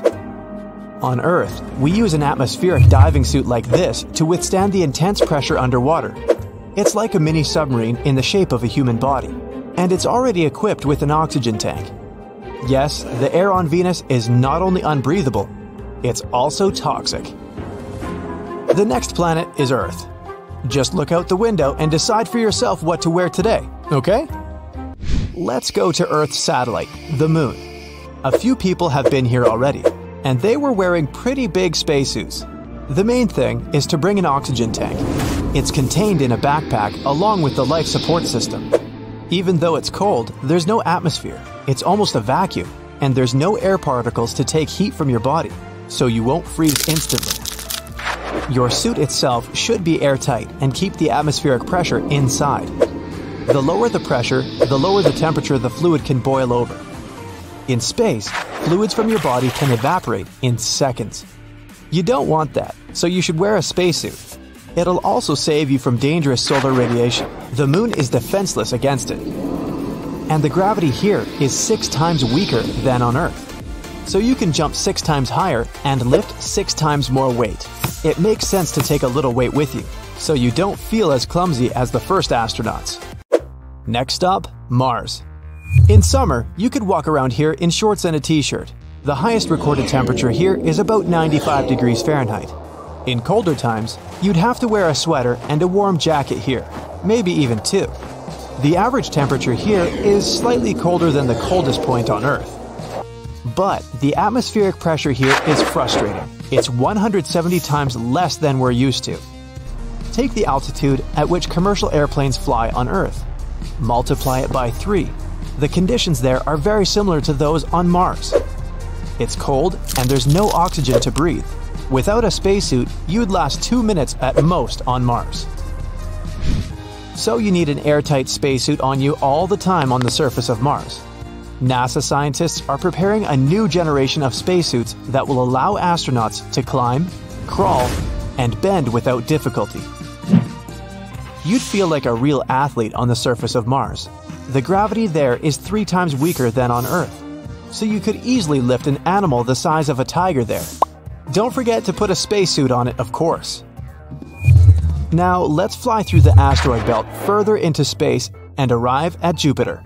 It's the largest planet in our solar system, and it's a gas giant. That means there's no solid surface, so you can't even stand there. Although, hypothetically, you could jump into Jupiter. Then you'd keep falling all the way to the planet's core. Suppose you're standing on a platform just above the surface of the planet. The first thing you feel is the force of gravity. It's 2.5 times stronger here. You feel it pulling you down, and you can barely even jump up so it would be nice to equip your spacesuit with an exoskeleton to support your body and help you move. Plus, it's incredibly cold. You'll feel the cold at about negative 229 degrees Fahrenheit on the surface of the clouds of the gas giant. And what makes things worse is the constant wind. It can reach speeds of up to 900 miles per hour, almost twice as fast as the speed of commercial airplanes on Earth.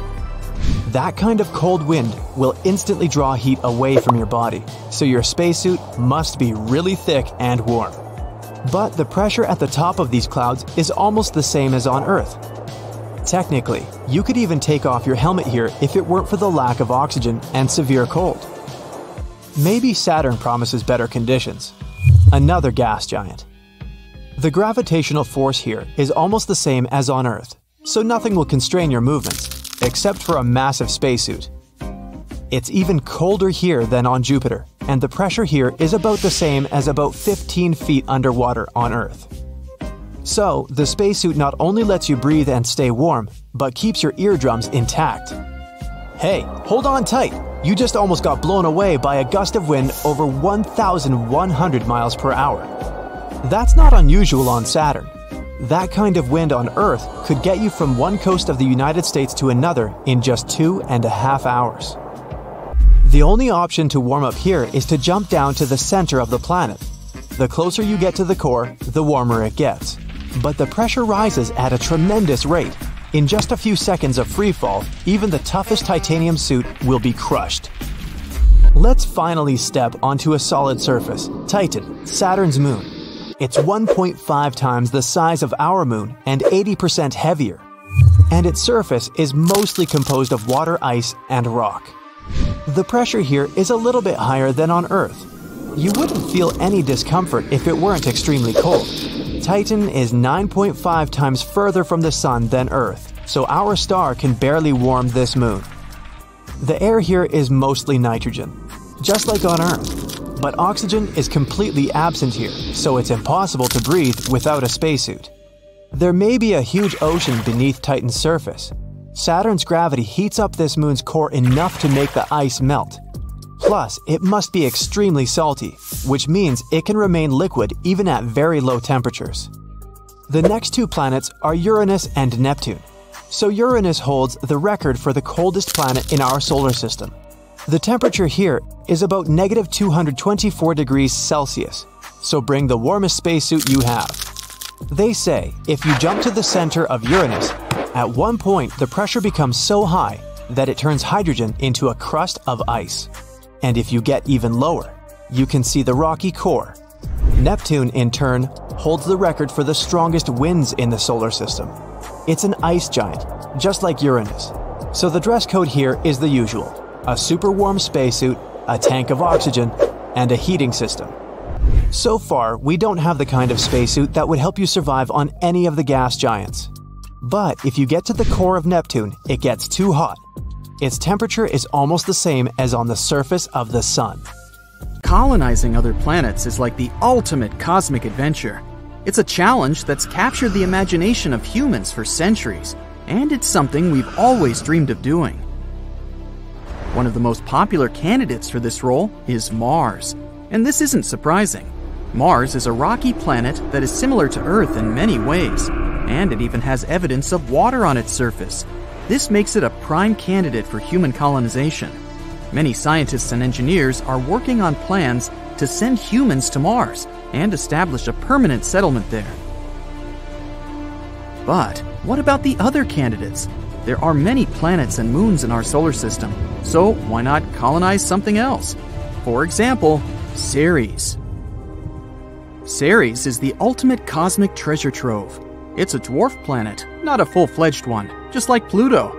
It's located in the asteroid belt between Mars and Jupiter. This dwarf planet is the closest to the Sun, and it's adorably tiny. The entire planet is about the same size as the state of Texas. So, why choose it? Because Ceres may be a rich source of valuable resources. The surface of Ceres is covered in craters and other geological features, and scientists believe that beneath its surface, it has a thick layer of water ice, which means that deep underground, it may have an ocean of liquid water. If this is true, Ceres could be a valuable resource for future space missions. Could potentially provide a source of water for human exploration of the solar system. So, can we colonize it? And if so, how do we do that? Actually, many scientists and space enthusiasts have proposed this idea.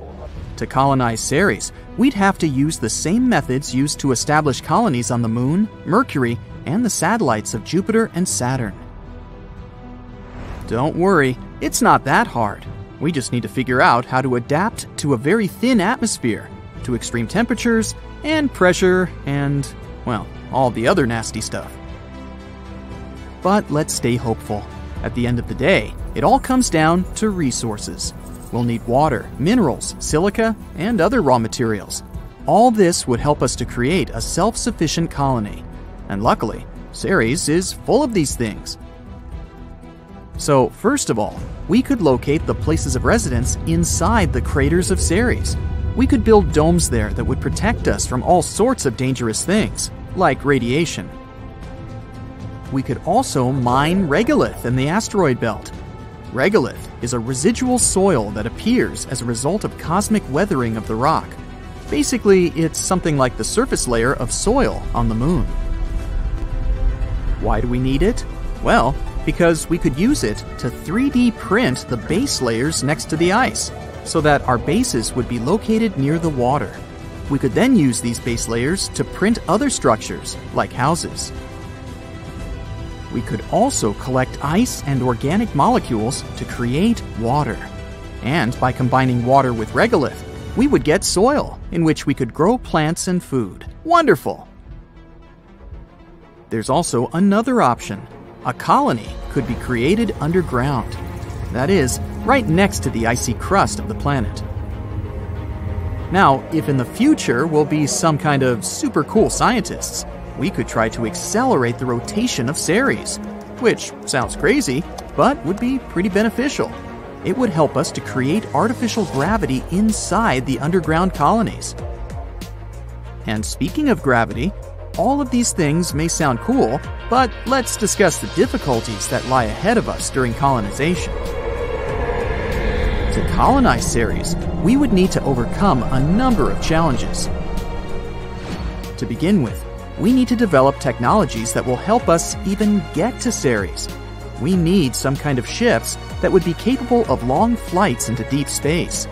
For them, first we need to create some kind of nuclear thermal or nuclear electric traction, and maybe an even more advanced type of fuel.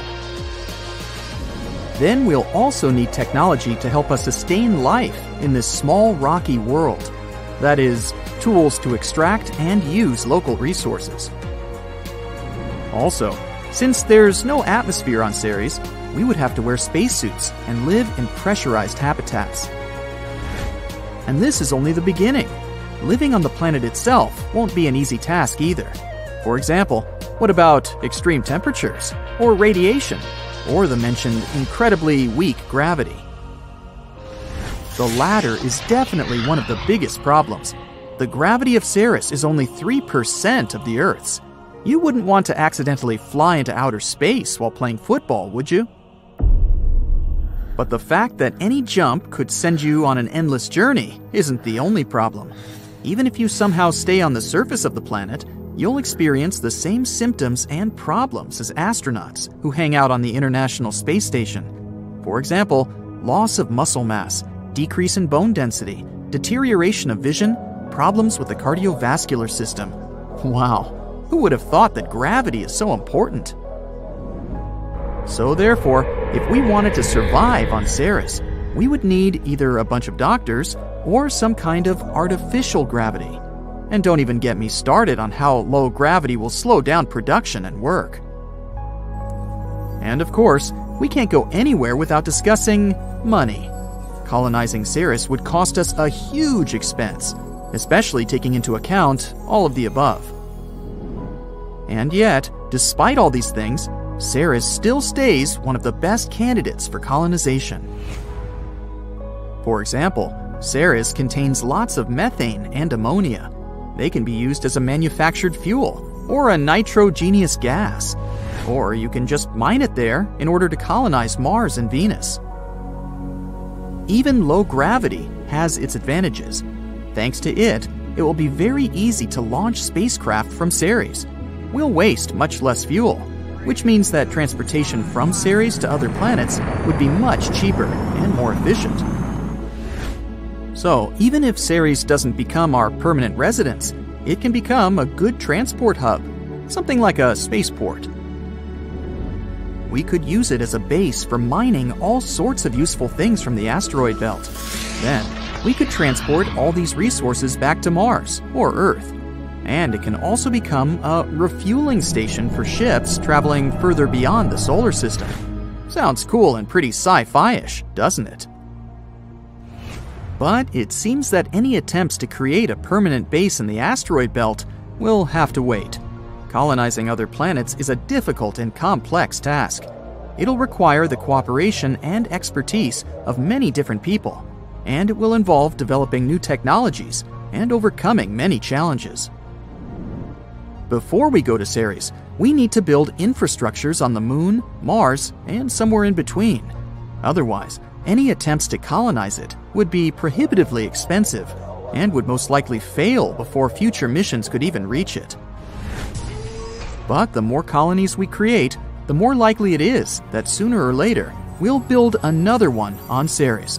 This would not only open the asteroid belt to economic exploitation, it would also serve as a stepping stone to the outer solar system.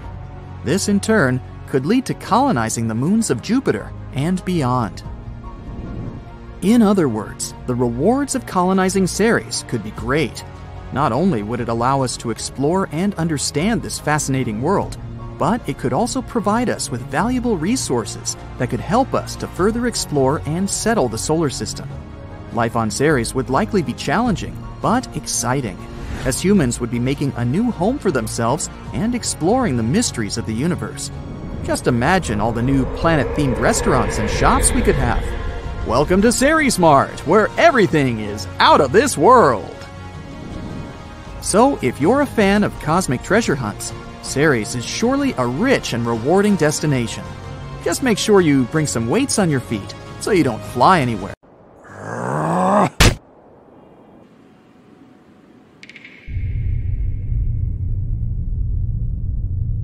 How many people do we need to create a new civilization? And not on Earth, but on Mars, and in limited conditions. And if we create this colony and send them off, what problems will they face? How can they survive that far away from home without any support? A recent scientific study sheds light on these questions, so let's take a look at it. Alright, so you want to colonize Mars, right? Well, it's not an easy task. Mars is the fourth most distant planet from the Sun and the seventh largest in the solar system. This lonely red guy is very similar to our Earth. Moreover, before it became a boundless desert, it could well have even looked like Earth now. Millions of years ago, there was water, oceans, plants, and who knows, maybe even life. It would be nice to put all these cool things back there, no wonder we've been talking about colonization of this planet for a very long time. Now, SpaceX claims that their proposed interplanetary spacecraft could deliver 100 people to Mars. The owner of the company, billionaire Elon Musk, talked about creating a fleet that could provide a constant flow of resources to Mars. But how realistic are all these fantasies? Actually, not very much. Before sending people to Mars, we need to solve a number of issues. For example, the incredible radiation exposure, toxic soil, low gravity, low temperatures, and all sorts of other nasty things. And this is just the beginning. It will take at least a couple of decades to create a vehicle that can actually successfully land on Mars and return back. But let's do a thought experiment and imagine that we finally decided to colonize Mars. How will things turn out? Recently, scientists published a new study on this topic. This study is called Minimum Number of Settlers for Survival on Another Planet. The author is Jean-Marc Salotti, professor at the National Polytechnic Institute of Bordeaux in France. His article was published in the Scientific Reports Journal. As you might have guessed, the study was trying to find out how we could colonize another planet. How many resources do we need? How should this colony live what kind of work should they do? And how long will it take? And, of course, exactly how many people do we need for all of this? Let's try to answer that. Now, imagine that we've moved into a wonderful future. Well, not really, a terrible future, actually.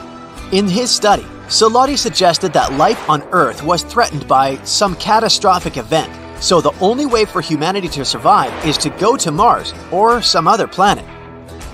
In this imaginary scenario, unfortunately, the supply delivery from Earth was interrupted, or even gone. Now, the colony has to support itself somehow. Well, here's where we already stumble upon a bunch of problems. For example, we're not sure how well the people in the colony will work together. Hey! Will they communicate with each other like normal human beings? Will they share their time and resources as they should? Humans are constantly ruining things for other humans. I can even bet that it was their fault we had to flee to Mars. But even if we forget about that, how about organizational issues? What equipment do we have? What will we use to extract resources? What skills would we need? You know what? Who cares? In our case, these things don't matter. All that we know is that the colony doesn't have a lot of initial resources and equipment, and the human factor is absolutely unpredictable. So the chances of survival are pretty low, but we need to survive somehow. In this case, Salotti describes two things that will have a huge impact on our survival.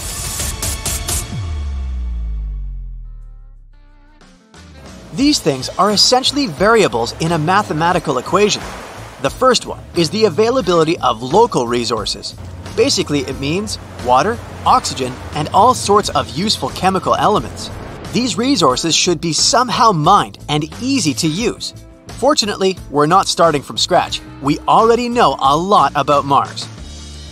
What resources are there? How can they be used for life support, agriculture, and industrial production? The colony is lucky because all this has been studied at various seminars and published in reports and books over the past years. Thanks to this, we know what will be available to our colony. For example, we know that gases could be extracted from the atmosphere and minerals from the soil. On Mars, we could provide such things as iron, glass, and even organic compounds. The most important problem here is the service life of the equipment that our new Martians start with. They'll have to get as many materials as possible before the tools break. Keeping them in good condition will be almost the most important task. The second thing is the production capacity, or the speed of work. We have a specific list of things we need to do, make some tools for example, and all this must be produced in sufficient quantities before the literal deadlines. Salotti says that the most important thing here will be the so-called sharing factor. Imagine one person trying to survive on Mars. They would have to do all the tasks on their own. They would need to find or build their own system for supplying drinking water, oxygen, and electricity generation. We've already seen how this played out in the movie The Martian. This task wasn't easy at all. There's always not enough time, and all this is just too much for one person to handle. Unless you're Matt Damon, of course. So, surprisingly, we need a fairly large colony this significantly distributes the burden. Each person spends less effort, gets tired less, and as a result, the efficiency and speed of work grow. This is where the sharing factor comes into play. Now we need to calculate this number. If we want, for example, to build something, how many people do we need to do this quickly and efficiently? How can we optimize the work as much as possible? Well, it depends on the needs of these people, on available resources, random things like weather, and so on. But in general, this number can be estimated and calculated using some mathematical functions. Salotti tells in more detail about these functions in his article. You can read it yourself if you're interested, but in general, he describes five areas that need to be taken into account when calculating this number. These areas are ecosystem management, energy production, industry, buildings, and the human factor. The human factor includes such things as the upbringing and education of children, sports, games, music, and so on. In the end, it all comes down to two things how much time we have and how well the people in the colony will work with each other. So, what was the result of all these calculations? In the end, Salotti found out that we would need at least 110 people to successfully survive on Mars, this is the minimal number needed to create a self-sufficient civilization. And it will be better if we don't take too many people with us.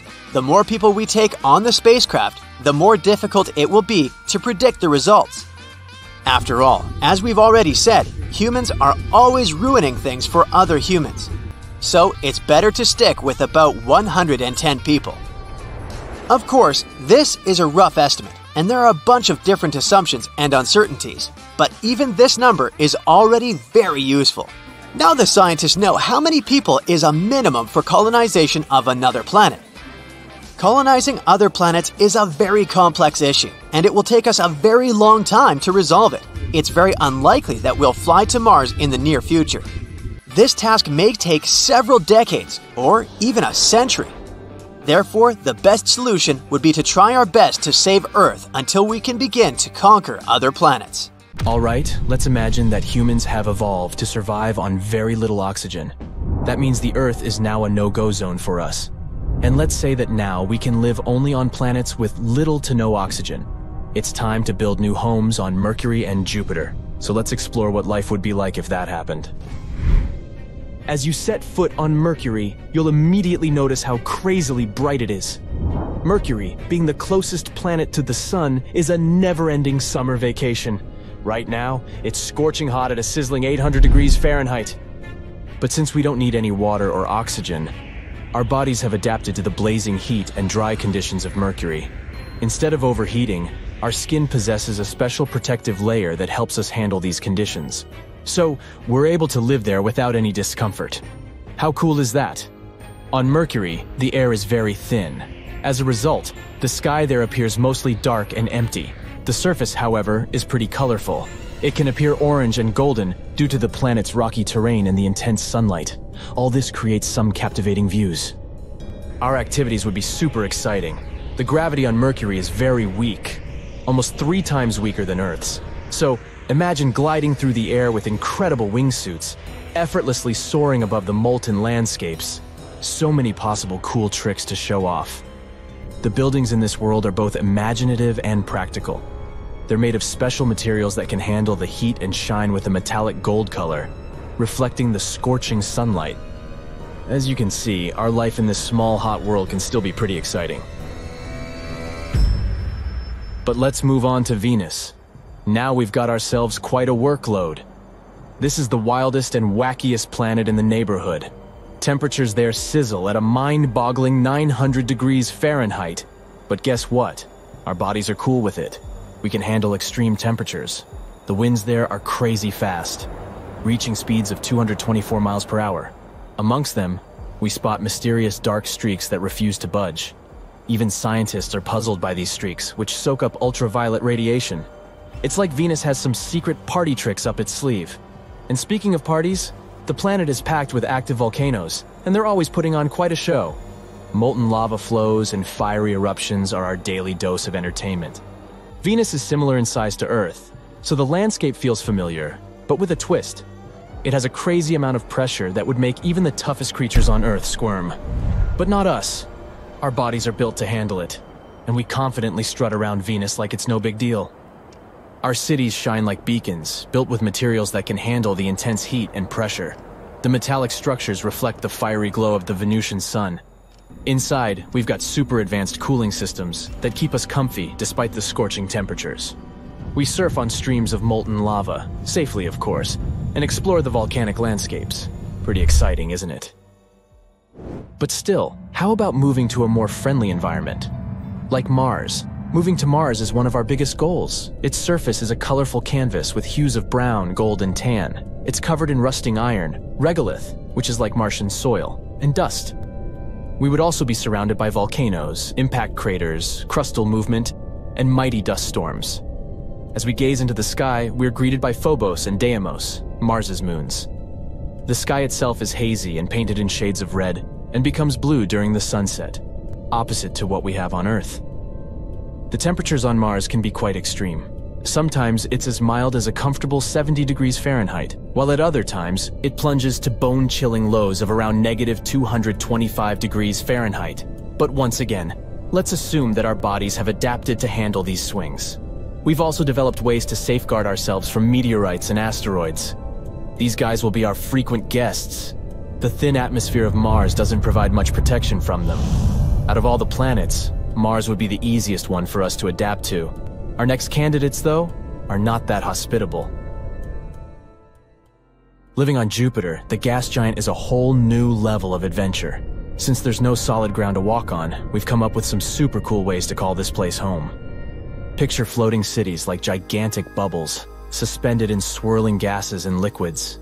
They're specially designed to withstand extreme pressures and temperatures. To get around, we have jetpacks and hovercrafts. Imagine floating amidst Jupiter's majestic atmosphere, surrounded by cold, windy clouds of ammonia and water. These vibrant stripes and swirls paint the planet with a colorful palette. We zip through the colorful clouds, enjoying a mesmerizing kaleidoscope. Our homes and cities are filled with vibrant colors and shimmering lights. We've even created artificial gravity zones, where we can experience a semblance of gravity and walk with a bounce in our step. But be careful, Jupiter's powerful storms can be intense. Luckily, we have advanced weather prediction technology that keeps us safe. We watch the mesmerizing light shows of lightning dancing across the sky, marveling at the raw power of nature. All this sounds pretty fun, doesn't it? Well, what about the next gas giant Saturn? Once again, we can live in the skies of Saturn, right among its beautiful rings. Our cities are like big colorful balloons that sparkle and shine with bright lights. Inside, we have large domes where we can freely enjoy everything this incredible planet has to offer. Instead of walking, we use special devices that make us glide through the air, just like on Jupiter. In this extraordinary place, we had to discover new ways to generate power. We use the energy from Saturn's powerful storms. These sources of energy help us fuel our floating cities, giving us the electricity and resources we need to thrive.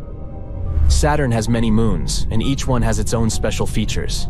We've set up outposts on some of these moons, where we can go on exciting adventures and explore their mysterious landscapes. But if living on a gas giant wasn't challenging enough, we also have ice giants in our system, Welcome to the fascinating world of Uranus. Despite the super chilly temperature of negative 353 degrees Fahrenheit, we've come up with clever ways to make this place livable. To create warmth, we can learn from Earth's greenhouse effect. Like a cozy blanket, we can introduce special gases into Uranus's atmosphere that trap heat. Another idea is to build gigantic mirrors to capture and reflect the sun's heat. But let's be honest, it would be quite a challenge to position all those massive mirrors just right. Our homes are designed to withstand extreme conditions. We use dense fluids like methane, ammonia, and water to build structures that keep us warm and cozy. Our habitats provide shelter from the freezing temperatures outside. We may even discover new forms of life that have adapted to the unique conditions of this icy giant. Now that would be chilling for sure.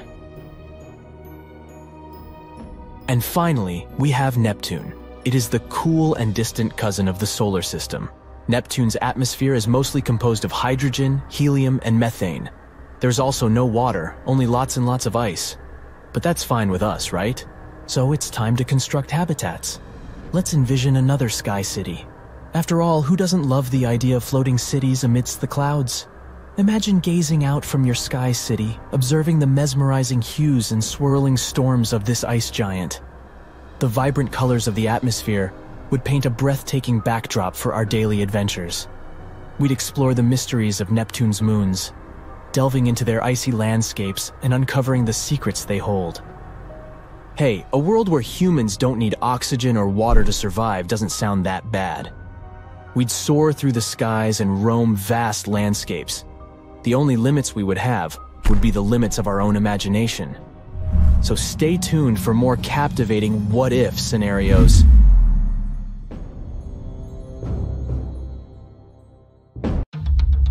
the planet races through space. Its orbit is unstable, like a pool ball gliding across the table looking for a target to collide into. Only this ball is the size of Mars, and it's going 9,000 miles per hour. Boom! It crashes into another planet. This Mars sized object was called Theia, and what it smashed into was Earth. The impact released 100 million times more energy than the asteroid that wiped out the dinosaurs. The planetary collision threw tons of solid material from both objects out into space. But only one of the bodies survived. Theia was obliterated and then swallowed entirely by early Earth. But that debris didn't go flying endlessly into the cosmic void.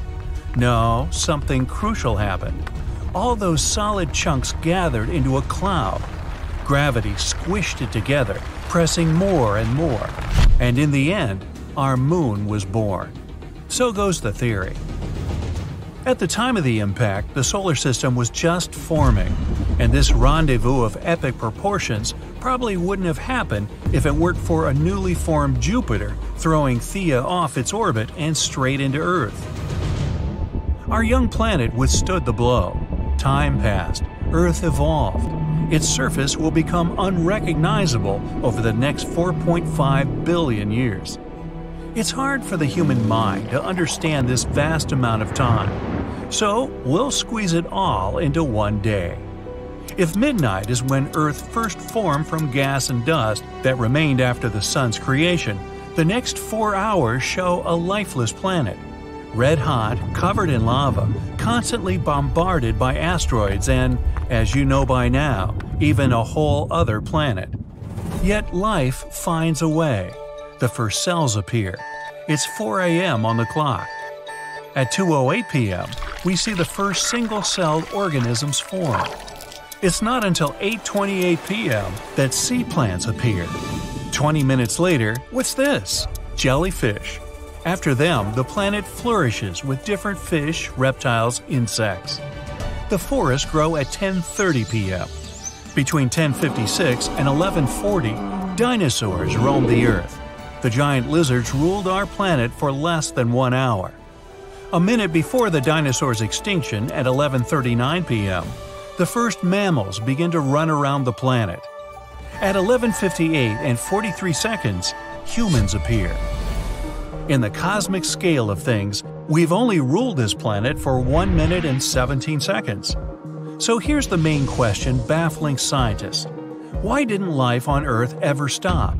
It had every chance to cease. Why didn't our planet become like Venus or Mars? They both once had an atmosphere and oceans. Today, they're lifeless deserts. Forget about complex scientific concepts and theories of the universe's structure. Our little rock and all its inhabitants are just incredibly lucky. Professor Toby Tyrrell at the University of Southampton used computer programs and climate simulations to solve the puzzle of why asteroid collisions and ice ages didn't turn our little rock into a lifeless wasteland. The research team took not 10, 100, or 1,000 virtual planets similar to Earth. They used 100,000 for the experiment. And every single one of those 100,000 were simulated 100 times. They exposed these virtual planets to different phenomena.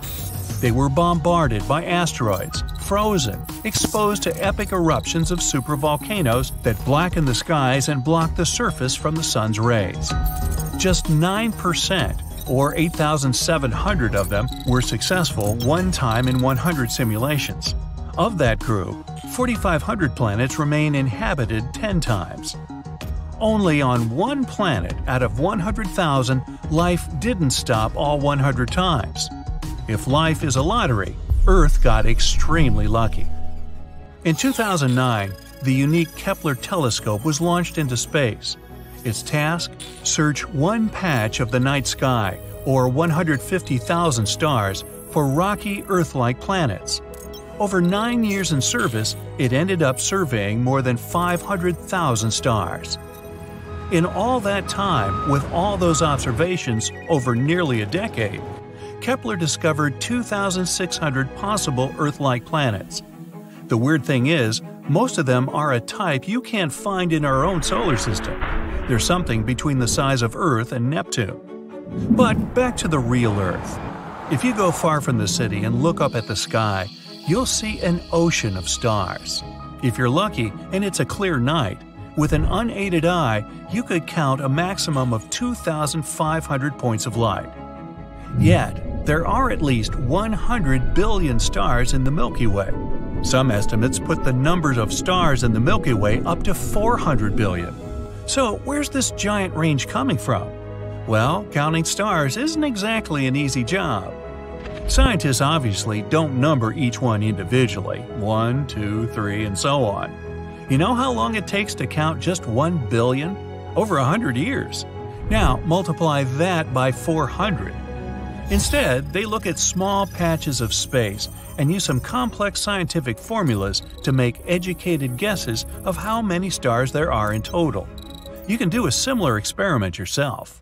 Imagine a bucket filled with 10 pounds of rock, sand, soil, and other items. Your job? Understand how many rocks are in that mix. We'll count only those rocks that are visible to us from above. Get a rough estimate of their volume and weight, what percentage of the total we can see, and with some calculation, you can get a number. Is it exact? Nah. Why? Because you can't know if the rocks in the bucket are spread evenly throughout, or if they're all about the same size throughout. What if the ones at the bottom, if there are any, are bigger or smaller than your sample view? They could have completely different weights and volumes. That bucket is our Milky Way galaxy, and the rocks you are counting are stars. The point? Scientists can't know for sure how many stars there really are. Maybe 100 billion, or perhaps four times that. Of those, 4 billion are like our Sun. With our own galaxy, the most accepted estimate for planets that could potentially support life is 300 million. Though, as the tradition of scientific inexactness goes, that number could be up to 5 billion or more. Either way, lots of real estate to choose from. And that's just the Milky Way. But get this it's just one of 200 billion galaxies in the observable universe. The most recent research puts that number 10 times higher, something like trillions of galaxies in space. And we've only studied less than 10% of them.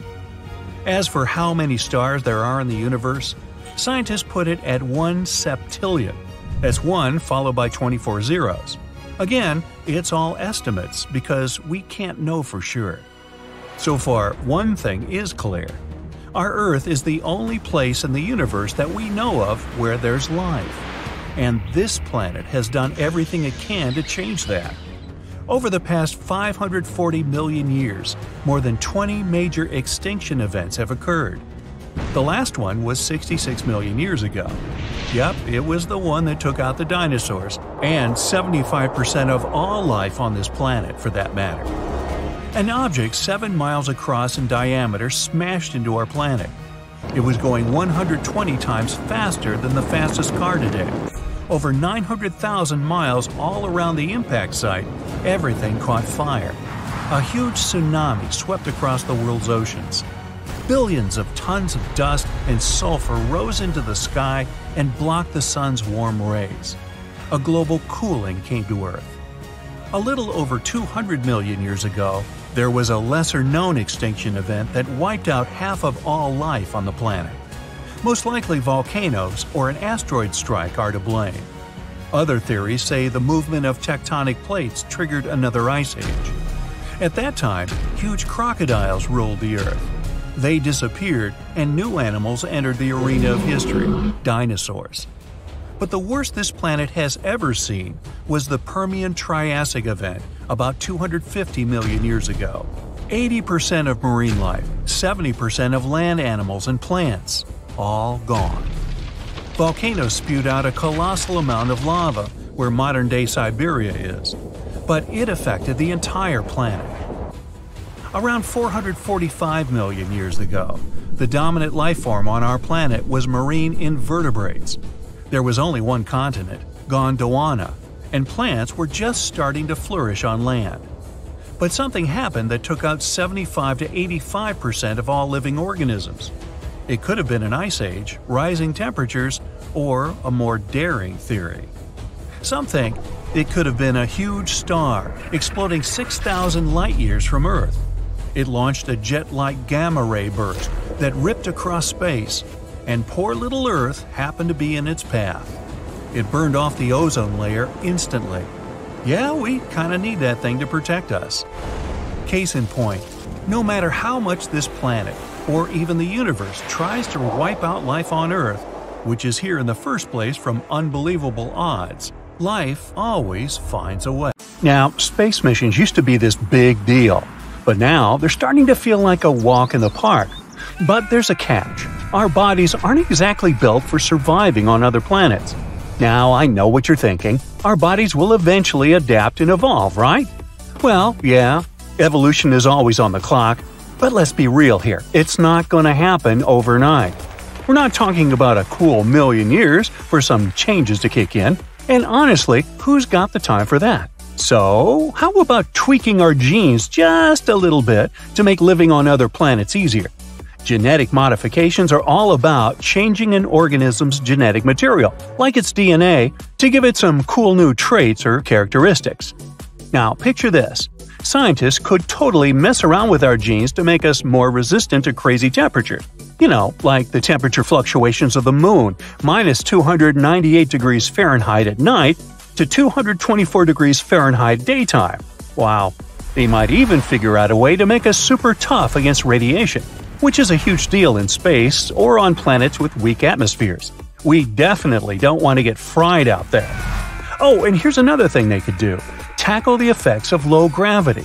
Spending too much time in low gravity can really mess up our muscles, bones, and even our heart. But if they tweak those genes related to muscle and bone growth, we could become super strong and resistant to all those nasty effects. However, it's not as simple as it might seem. The technology for safe and precise genetic modifications is still in its early stages, so it might even take as much time as it would for our bodies to naturally evolve and adapt to other planets. There are a couple of nice exoplanets where humanity might potentially live. I'm talking about Gliese 667cc, Kepler 442b, Kepler 62e, Kepler 452b, Gliese 837, you name it. In fact, I'm sure you can do a better job of naming than these. Now consider Gliese 667cc. Um, in fact, let's nickname this one Gary for short. Turns out that Gary gets about 90% of the light that Earth does. But instead of regular visible light, this planet mostly gets infrared light. To put it simpler, Gary is rocking only 20% of the visible light that Earth gets. Yep, it's a bit darker over there. So, do we need really warm clothes and night vision goggles to thrive on this planet? Nah, not really. In addition to darkness, Gary is estimated to have a higher mass than Earth, meaning it hmm. likely has a stronger gravitational pull. To adapt, humans would need to hit the gym at least twice a day. Translation? Humans would need to develop stronger muscles and bones to withstand the increased gravity. Over generations, natural selection might favor individuals with these adaptations. We still know too little about these exoplanets to move there anytime soon. Hey, how about some planets in our solar system? Let's discover our top picks. This way, we can easily figure out what changes we need to make. So, first things first, let's eliminate the two ice giants in our solar system and their friends. Yep, Neptune, Uranus, and the two gas giants, Saturn and Jupiter. Sorry guys, but terraforming you is just not gonna happen. Even so, we still have four super cool candidates right here in our solar system. You all know them well Venus and Mars, the popular kids on the block. And then we have Jupiter's moon, Callisto, and Saturn's moon, Titan. They might not be as famous, but they've got some serious potential to become Earth 2.0. So, it turns out some of Jupiter's moons are super cool for terraforming. They're packed with water, which is a big plus. But here's the catch only Callisto is far enough from Jupiter's radiation belts. You see, on Earth, we get hit with about 0.24 rems of radiation per year. But, for instance, Ganymede, another of Jupiter's moons, gives away a whopping 8 rems per day. Just to make it clear, professional workers here on Earth can have more than 5 rem per year. Callisto is different though. We don't need to tweak our genes as it only gets about 0.01 rems per day, which we humans can totally handle.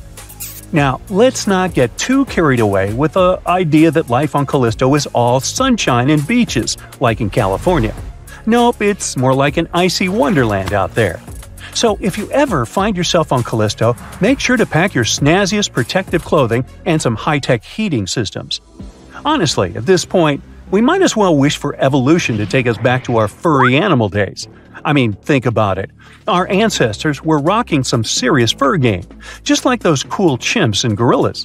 But as time went on and we got all fancy with our evolution, we decided to ditch the fur coat and go for a more minimalist look. Now, why did we lose our fur? That's a question that has puzzled scientists for ages.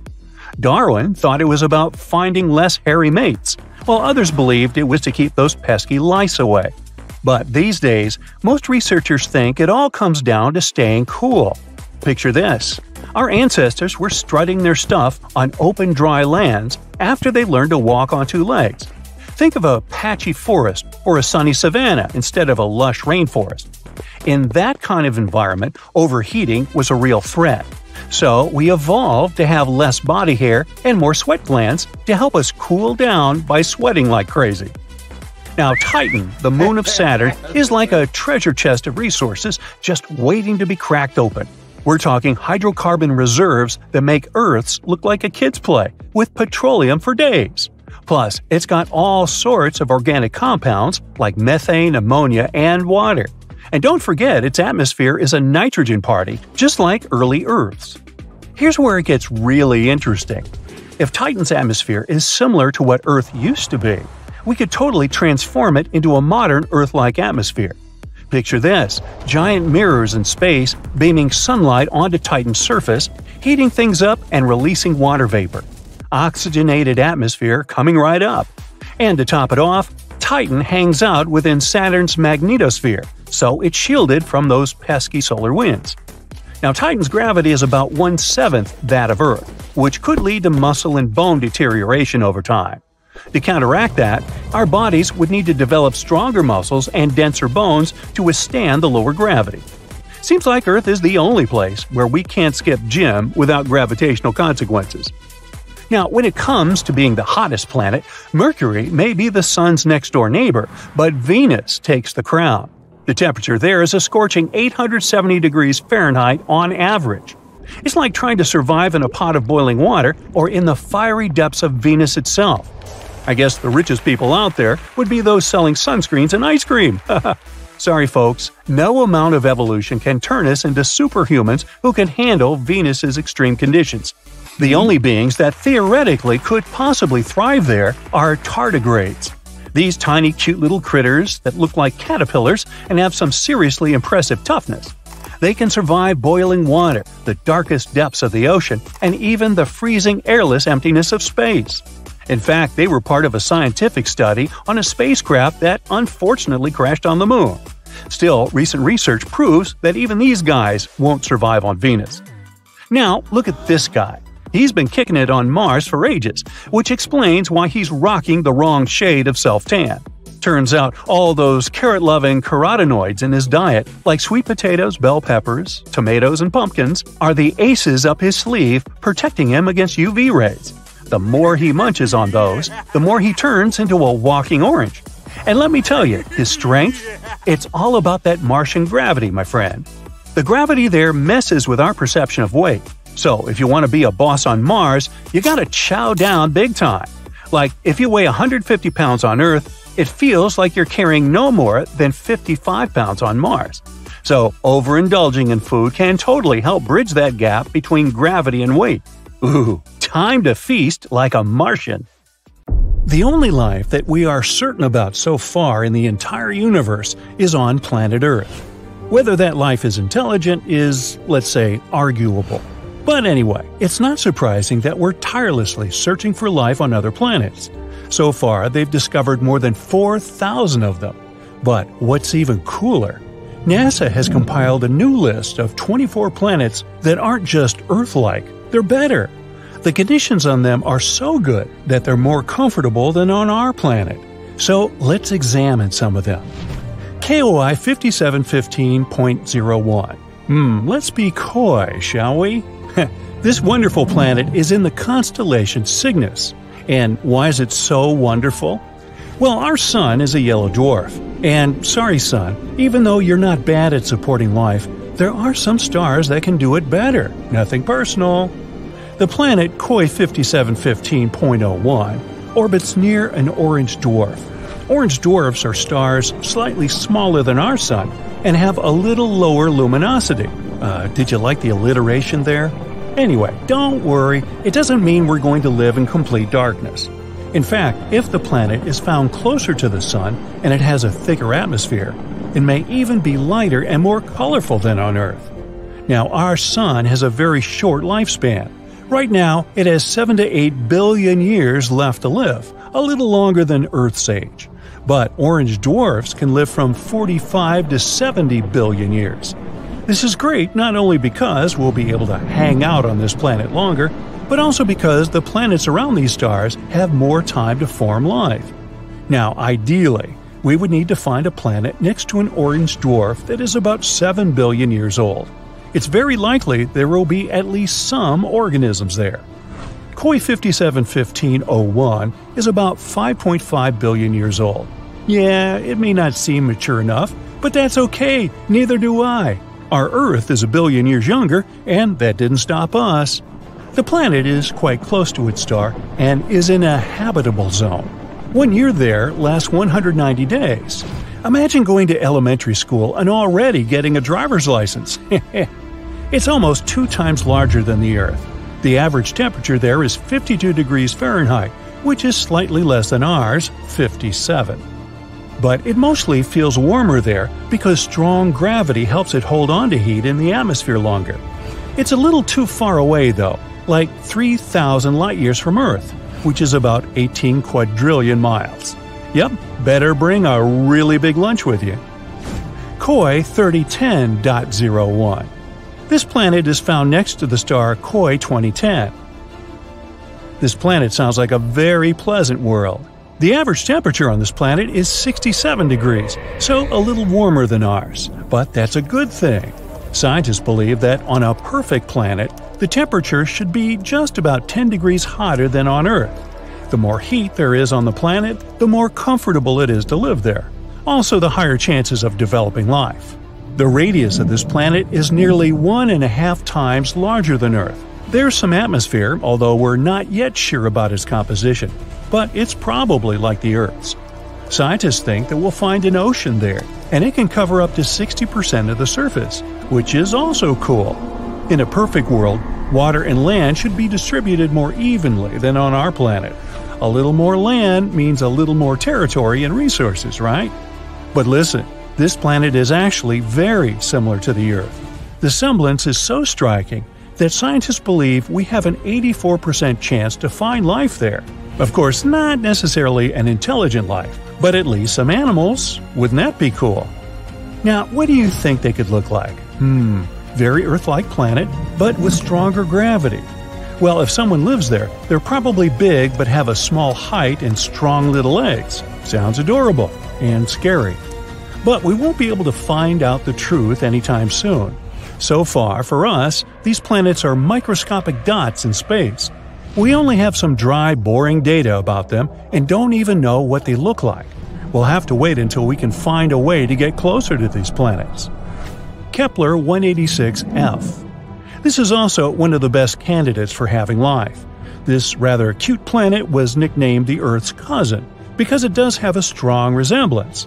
Anyway, these two planets are like sisters, not twins. Kepler 186f rotates near a red dwarf. Red dwarfs are stars even dimmer and smaller than orange dwarfs. Yeah, they'll also live for a very, very long time, but their luminosity is also quite low. However, Kepler 186f is closer to its star than we're to our Sun, so it shouldn't be too dark there. Well, at least not night like dark. The sky on this planet is sure to be an unusual shade of red, like sunsets on Earth. What do you think? Would you like to live on a planet with an eternal sunset? The size of this planet is about the same as Earth. Not bad, not perfect. Why so? because the coolest planets are those that are bigger than Earth and have stronger gravity. Now you'll probably say, but wouldn't it be harder to walk there and even harder to get out of bed on Monday? of course. But on the other hand, this planet will pull the atmosphere better. The atmosphere will be thicker and denser. This means more protection from the scary space stuff, more oxygen, and more heat. Not to mention the fact that the bigger planets have more space to settle. Awesome, right? But of course, the Earth's size is also an excellent choice. Another cool fact is that the tilt of Kepler 186f is about the same as ours. It means that there should be stable seasons and a normal day night cycle. Do you know how important the tilt of the planet is? Let's look at Mars. Mars is also, in fact, found in the habitable zone of our Sun, but its tilt is very unstable, and as a result, the entire ocean that could have been on it once now completely dried up. Today, it's just a red desert, and there's no life there. At least not as far as we know, but you see how important these tiny details are? This planet is also quite far away from us 490 light years. That's about 3 quadrillion miles. So, yeah, we're just going to keep waiting for intergalactic travel. Kepler 62e and 62f. These planets were called the most Earth like before we discovered Kepler 186f. They're very comparable to our home. Kepler 62e is about one and a half times larger than Earth, and Kepler 62f is just slightly smaller than that. They're located in the constellation Lyra, which is about 1200 light years away from us. They both also orbit a red dwarf. One year on Kepler 62e lasts about 122 days, even less than on that first planet we talked about. Scientists believe that both 62e and 62f are sort of water worlds, warm places mostly, or even completely covered with water. If there is land there, it's probably just some islands. Hmm, a world consisting entirely of islands. A fantasy dream for some, think Hawaii, and a nightmare for others, think Megalodon. But if you're a fan of ancient marine animals, just imagine how gigantic they could be there. Still, there are many things we don't know about this planet. Does it have a surface? What about its composition, density? One day, maybe we'll be able to answer these questions. And so, that's it for the super Earths. Of course, the original list is much longer, and you can go check it out on the internet. Now, the best thing about all this is that these are planets that are better than the Earth. But we also know thousands of other exoplanets that are just close enough to ours and the odds are a few of them have at least some form of life. But they're very, very far away, so we have no way to check it out right now. Perhaps down the road, we'll find some cool creatures on many of them. For decades now, scientists have been discovering new planets outside our solar system. By 2023, we've found more than 5,000 of them, and many of these exoplanets could potentially even have life. Now, if you're ready for a wild ride through space, let's find out what potentially habitable planets we've discovered in the last few years. LP 890 9b and LP 890 9c. Buckle up because we're heading to LP 890 9, a red dwarf star located a whopping 105 light years away from Earth. This star is quite cool compared to our Sun, in terms of temperature, of course. It has a temperature of about 4,700 degrees Fahrenheit. Now, this little guy may be small, but it's packed with surprises. For example, two exoplanets orbiting around it. Moreover, both of these planets are likely terrestrial, meaning they are rocky, just like Earth. First up, we have LP90 9b, which was discovered in 2022 using the TESS telescope and later confirmed by the Speculoos telescope. This planet is a super Earth, weighing in at about 13 times the mass of our own planet. It's also slightly bigger than Earth, with a radius about 1.3 times larger. And if you thought Mercury's orbit around the Sun was quick, just wait until you hear about LP 890 9b. It takes about three days to complete one lap around its star. Imagine falling asleep in freezing winter and waking up in hot summer. But the real showstopper here is LP890-9C. This one was discovered by the Speculoos telescope. It's a bit further out from the star and takes a leisurely 2.5 times longer to orbit than LP890-9b. It's also a bit larger than Earth. But its real claim to fame is its location within the habitable zone of its star. That means it could potentially have liquid water on its surface and a climate suitable for life. Now, this planet becomes a prime candidate for studying its atmosphere using the James Webb Space Telescope. But hold on. It's not all sunshine and rainbows for LP 890 9C. It's also really close to its star, meaning it's full of radiation that could potentially make it less habitable. And to top it off, it's tidally locked, just like our moon. That means one side of the planet is always facing the star and is incredibly hot, while the other is always in the dark and really cold. Scientific models suggest that this planet could be more like Venus in terms of its atmosphere and climate, and Venus is, you know, isn't known for being human friendly. But despite these challenges, LP 890 9C is still a fascinating exoplanet worth studying further. Who knows what secrets it may hold? Let's move on to the next candidates. GJ 1002b and GJ 1002c an international team of scientists, led by researchers at the Instituto de Astrofísica de Canarias, has found two Earth like planets just 16 light years away from our solar system. They both orbit a red dwarf star called GJ 1002.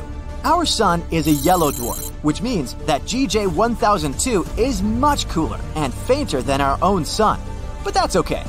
Both planets are very close to its star, so it shouldn't be too cold or dark on them.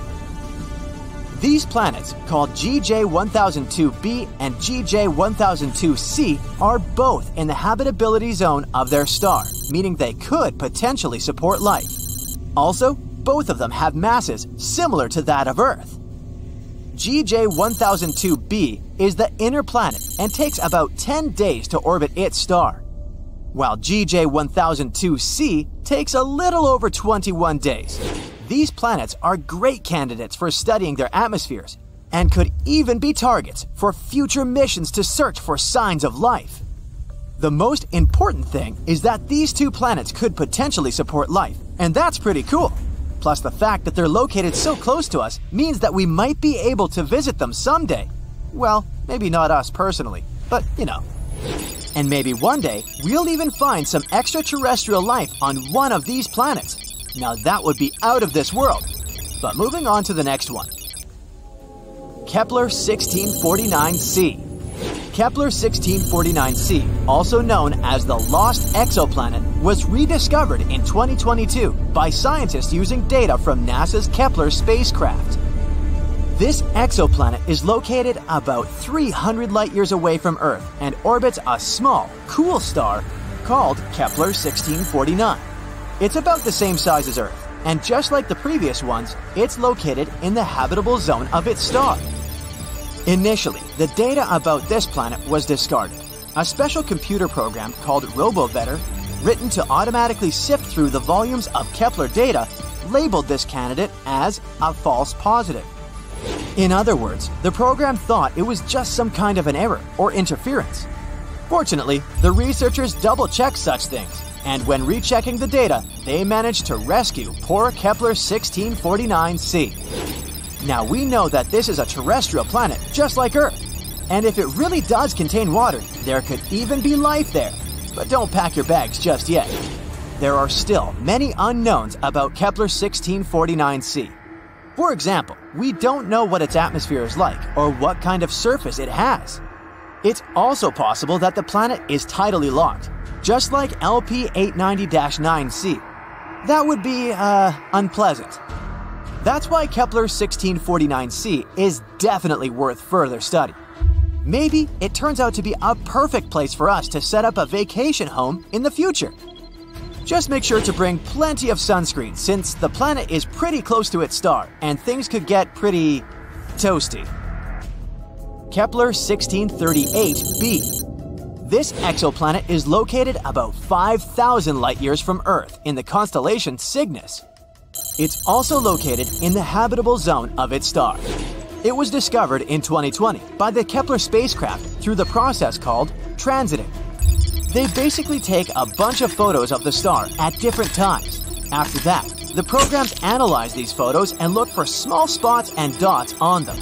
These tiny dips in brightness may mean that a planet was passing by the star. Kepler 1638b is a bit of an oddball compared to most exoplanets we've found so far. It's about four times the mass of Earth and has a radius about two times that of Earth, making it a super Earth exoplanet. Its orbital period is about 260 days, which is quite close to our Earth, and that's great. Finally, at least somewhere, winter and summer will flow normally. Kepler 1638b could have some liquid water there. That's why it's also a good candidate for further study, to see if it could potentially support life. Let's hope that we'll find out more about this planet in the future. And finally, the last one. Kepler 438b. Kepler 438b is an exoplanet located approximately 640 light years away from Earth in the constellation Lyra. It was discovered in 2015 by the Kepler Space Telescope. One of the most interesting things about Kepler 438b is its size and location. It's about the same size as Earth and also orbits within the habitable zone of its star. But there are a few catches. For one, Kepler 438b orbits around a red dwarf star, which are known for their high levels of solar radiation and flare ups. This could make the surface of the planet too hostile for life as we know it. In addition, Kepler 438b has a much shorter year, only around 35 Earth days long. This could lead to extreme temperature fluctuations on the planet's surface, but maybe it's home to some hardy extraterrestrial life forms that have adapted to its unique conditions. Or maybe not. Either way, it's definitely worth keeping an eye on. This is a small list of exoplanets that we've discovered in recent years. Now, with the use of new technologies, we'll be able to find new exoplanets much more often. Let's hope that at least a few of them will really be inhabited. Hop on! I've prepared a tour around Earth's fellow planets. Let's start with Mercury, the smallest planet in the solar system. During the day, the temperature on the surface of this planet can reach 800 degrees Fahrenheit, and during the night, it can drop to negative 290 degrees Fahrenheit. The temperatures here are so extreme because the planet has no atmosphere. Instead of it, Mercury has a thin exosphere. That's one of the reasons why Mercury is not habitable. The temperatures and solar radiation are too extreme for any organism to survive there. Now let's imagine there's a way to live on Mercury. Then what would life there look like? Mercury's surface resembles that of the Moon. Over time, meteorites left lots of marks on it. Unlike the Moon's surface, Mercury is grayish brown. Now look up. The Sun on Mercury would appear almost three times as large as it does on Earth. The sunlight would be almost seven times brighter. I wonder what type of sunglasses people would wear if we lived there. Can life appear on this planet in the future? Don't get your hopes up, it's very unlikely. Now, how about landing on Venus? You might think the hottest planet in our solar system is Mercury since it's the closest to the Sun. But in reality, this title goes to Venus. What is it that makes Venus boil? The biggest reason is its atmosphere. It's made up almost entirely of carbon dioxide. The atmosphere is so thick that it leads to the planet warming up non-stop. Basically, the gases in the atmosphere prevent thermal radiation from leaving Venus. So, the planet simply can't cool down. The water on its surface constantly turns into vapor. If the surface of Venus was food, then its atmosphere would be the microwave. That's why the temperatures in this world can go up to 870 degrees Fahrenheit. What would it be like to live on Venus? On Earth, seasons change because of the planet's tilt, but Venus doesn't experience any significant changes throughout the year. Things are pretty constant at night and during the day, too. And what about the view of the sky? The clouds on Venus appear yellow or bright white. They're mostly made of poisonous sulfuric acid, but then why does Venus appear reddish orange when you look at it from Earth? Talking about the true colors of planets can be a tricky business. The hue of a space body might be different when you look at it from another planet. If we traveled all the way to Venus, a reddish brown surface would welcome us. The molecules of carbon dioxide and sulfuric acid block sunlight coming into Venus's surface, hence the reddish orange color of the planet. Oh, and did you know that Venus is often called Earth's twin? Both planets are nearly equal in size. Both have relatively young surfaces and thick atmospheres with clouds. Plus, the orbit of Venus is also the closest to Earth. That might raise a question about the possibility of life on Venus. I'm sorry to break the news, but nope. Venus is not habitable. The next destination is Mars. Unlike Venus, Mars has seasons due to the planet's tilt on its axis. It also has a secondary seasonal effect caused by its highly elliptical orbit. The southern hemisphere has colder winters and hotter summers than those in the northern hemisphere. The average temperature on Mars is negative 80 degrees Fahrenheit. But temperatures can also range from the poles to the equator, and they can change very dramatically within a single week. Still, not that bad compared to the previous two planets, huh? Is Mars habitable? The number one thing a living organism should worry about here is space radiation. Earth has a magnetic field and a thick atmosphere to protect its surface from radiation. Mars has neither. The planet's gravity is one third of Earth's. So, weaker gravity and a thinner atmosphere make it harder for any living being to survive on the red planet. In 2013, NASA reported an ancient freshwater lake that could have been a hospitable environment for microbial life. This is evidence now that liquid water once flowed on Mars. This confirmation suggests that Mars could have had the necessary environment to support life. But what happened to the water on Mars? The most popular explanation is that the planet's atmosphere became too thin and cold to keep liquid water on Mars' surface. The disappearance of water might also be related to the loss of early magnetic fields, or the reason might be the red planet's size. Mars is probably too small to keep water. So, for now, Mars is not habitable. But, you know, scientists keep sending missions to Mars. Maybe they'll find some new information. Let's wait and see. Now, Jupiter. Have you ever wondered what it might be like to live on the biggest planet in our solar system? Jupiter's environment is an unlikely place to support life. The temperatures on this planet and its composition are too extreme for any organisms to appear there. Jupiter has layers of gas, mostly hydrogen and helium. These gases fill the entire planet. Quite literally, there is no solid surface on the planet. Gases go all the way to the core, below the surface. They become liquid and turn into plasma because the atmospheric pressure there is way more intense than any place on Earth. To put it into perspective, an organism on Jupiter has to resist 1,000 times more atmospheric pressure than it would on Earth. Can a living being survive in such conditions? Unlikely. Jupiter is completely uninhabitable. But hey, have you heard that its moon Europa might be a possible habitable zone? Change of scenery. Saturn. It's the second largest planet in our solar system. Like Jupiter, Saturn is a gas giant ball mainly consisting of hydrogen and helium. What about temperatures on Saturn? It's freezing. Plus, there are extremely powerful winds there. The winds in Saturn's upper atmosphere reach the speed of 1,600 feet per second. Let's compare them to storms on Earth to have a better understanding. The strongest hurricane ever recorded on Earth was moving at 350 feet per second. So, the answer to the question, is there life on Saturn, seems pretty obvious. Life, as we understand it, doesn't exist there. The next stop is Uranus, one of the largest ice giants. Uranus's atmosphere is dominated by ice, but it's not the only reason that causes the planet's blue color. It's also the methane in the atmosphere. It absorbs red light and reflects blue. The same goes for Neptune. Uranus is the coldest planet in the solar system. The temperatures there can be as low as negative 371 degrees Fahrenheit.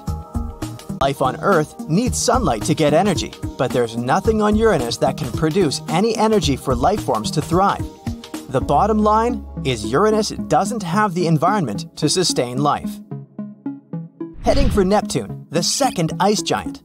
What is there on the planet furthest from the Sun? Obviously, it's incredibly chilly. There's neither a source of energy that bacterial life can exploit, nor a source of liquid water. Currently, scientists believe it's unlikely to find life on Neptune because of such unfriendly conditions. So, what makes our planet so livable? And I'm not just talking about human life, I mean any living organisms, even microbes. Life requires very special conditions to exist, all living beings need some sort of food, water, and the right temperature to develop. The atmosphere is a vital element. Humans, for instance, need oxygen to breathe, and they can only survive in temperatures that aren't extremely hot or cold. Another thing is gravity. All the other planets I've mentioned don't have exactly the same conditions as Earth. Life there would probably be different than what we have here. All living beings on Earth have adapted to our atmosphere, and life forms elsewhere would need to be able to survive in that planet's conditions. Imagine something terrible happening to Earth and humans having to leave it as fast as possible, and you have to decide which planet will become your new home. Which one will you pick? Probably the first planet that comes to mind is Mars. It's relatively close. Like Earth, it's also a rocky planet. It even has an atmosphere, even though it's much thinner than what we have on our planet. But at the same time, the North Pole on Earth would seem balmy to you in comparison to Mars. On the red planet, the average temperature is minus 80 degrees Fahrenheit. Hmm. The most radioactive areas on our home planet might seem harmless if you compare them with the surface of Mars. But what if we terraform Mars? Could we keep transforming the red planet until it becomes capable of supporting human life? It would be an enormous feat. Mars is an extremely dangerous place. Should you teleport there right now without any protective suit or anything, the gas in your blood would instantly turn into bubbles. You can probably imagine the consequences. Add oxygen deprivation, cold exposure, and radiation poisoning to the equation, and well, who's next? If we still decided to terraform Mars, we would need to create a stronger magnetosphere. We've got this protective magnetic layer on Earth. It shields us from the sun's ultraviolet radiation. The red planet would also need a thicker atmosphere, again for protecting us from harmful space stuff better. Right now, the Martian atmosphere is almost entirely composed of carbon dioxide with tiny amounts of oxygen. For us to live there comfortably, Mars would also need to be warmer. And if we managed to somehow warm the planet up, we'd also be able to release frozen carbon dioxide. At the moment, there are vast reserves of this gas at the red planet's polar caps and other areas. It would help the atmosphere to become thicker making it possible for water to exist on the surface of the planet. Right now, there is some water on Mars. The atmosphere of the red planet is too thin for this water to stay in its liquid form. But under the surface of the planet, it's a different matter. You can find water under the surface of the planet in its polar regions. The only place where this water is visible is at the North Polar Ice Cap. Also, sometimes salty water flows down crater walls and hillsides, and there are tiny quantities of water in the planet's atmosphere, but it only exists as vapor. If liquid water existed on the surface of the planet, it would make it easier for us to start growing plants, and plants, in turn, would begin to produce oxygen. But first of all, we would need to start the warming process. How? Well, Elon Musk suggests using nuclear energy to make Mars more livable. He says it could be done by creating a continuous flow of low fallout nuclear fusion explosions above the atmosphere of the planet. Hmm. It could create something like numerous artificial suns. It could warm the planet, melting the frozen ice caps, which would then thicken the atmosphere, causing even more warming. Other strategies for Martian global warming include the diversion of asteroids into the poles of the planet, or the large scale production of greenhouse gases that could help us heat the red planet. Or we could create a giant space mirror, as huge as the side of Mars. It would reflect tons of additional sunlight onto the planet. The problem is, all these projects would have exorbitant costs. They would also require serious upgrades in our technological capabilities. Could there be an easier and cheaper way of terraforming the red planet? It seems so. Casey Handmer used to work in NASA's Jet Propulsion Laboratory. Now he's the founder of a startup hoping to create carbon negative natural gas by pulling carbon dioxide out of the atmosphere of our planet. He's also made a proposal to terraform Mars for a modest $10 billion. Hmm, sounds alluring. So, what is his idea? Mass produced small solar sails. These are already existing technologies, even though they appeared only recently. Such sails use sunlight to propel themselves, like ships use the wind to sail. These solar sails could be launched into low Earth orbit, and after that, they would fly themselves to Mars. There, they would reflect sunlight onto the night side of the planet. According to Handmer's calculations, a decade of such launches could result in a 1% increase in temperature on Mars. Hanmer also believes that we could mass produce solar cells at cell phone factories. All because a solar sail would need a processor, a camera for navigation, and some electronics to be able to transmit data, just like a smartphone. In other words, solar sails would be like small satellites using cell phone technology. Each of these sails would also need a sail of its own, a thin space blanket weighing about 2 pounds. When unfurled, it would span around the size of two basketball courts. Would this plan involving solar sails enable people to terraform Mars? Handmer doesn't think so. Even if we put loads of money into solar sails, they would only make the red planet warmer and more humid, but they still wouldn't be enough to make Mars suitable for human life. Most scientists are also very skeptical about the very idea of terraforming this cold, dry world. They say that carbon dioxide and water vapor are the only greenhouse gases present on Mars, but there's just not enough of them to change the situation. Let's say we manage to melt the polar ice caps with the help of Elon Musk nuclear technology or solar sails. And still, this ice will only release enough carbon dioxide to bring the atmospheric pressure to 1.2% of what it is on Earth. Plus, most of the carbon dioxide gas wouldn't be accessible, and we wouldn't be able to mobilize it. Even if we decided to go through an energy intensive process of the extraction of carbon dioxide from the planet's soil, dust, and minerals, we'd still only get the atmosphere to a mere 5% of where it needs to be. Water is another problem. It is salty on Mars. It might even be as salty as the oceans on our planet. But these salts aren't what you find on Earth. If a person consumed a certain amount of them, they would be highly toxic to the human body. Um, who's next? On our planet, these salts are formed as byproducts of rocket fuel, as well as in road flares and fireworks. Naturally, they only occur in very dry areas, if there are no particular bacteria to break them down, these substances accumulate year after year and their concentration in water is constantly increasing. But in theory, it's possible to purify even such water. The process of filtration could help the astronauts get rid of 90% of harmful substances. Then they could use a UV disinfection unit. This would also help get rid of any foreign molecules, if there are any, that might be hiding in the water. This stage would not only protect the astronauts, but also prevent them from bringing any dormant Martian microbes back to Earth.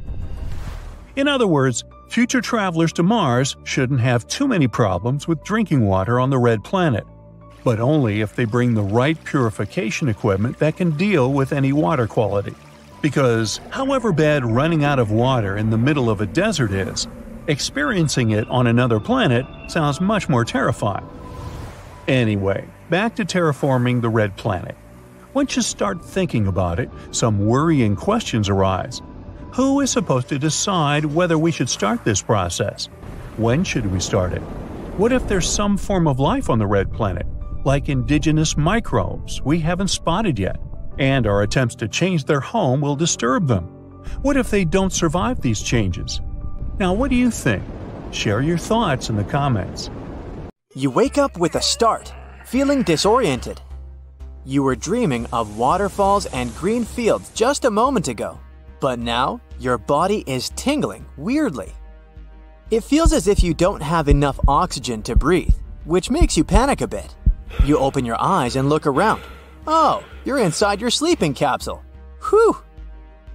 Its walls are littered with different buttons and tiny screens. You press one of them, and one of the sliding panels sweeps to the side. You crawl out of your pod. The absence of your windows or any natural lighting makes you feel as if you're underground. Dozens of sleeping capsules line the walls. The door leading out of the dorm is made of metal. It looks heavy and unmovable. But once you press the button on the wall next to it, the door opens smoothly and soundlessly.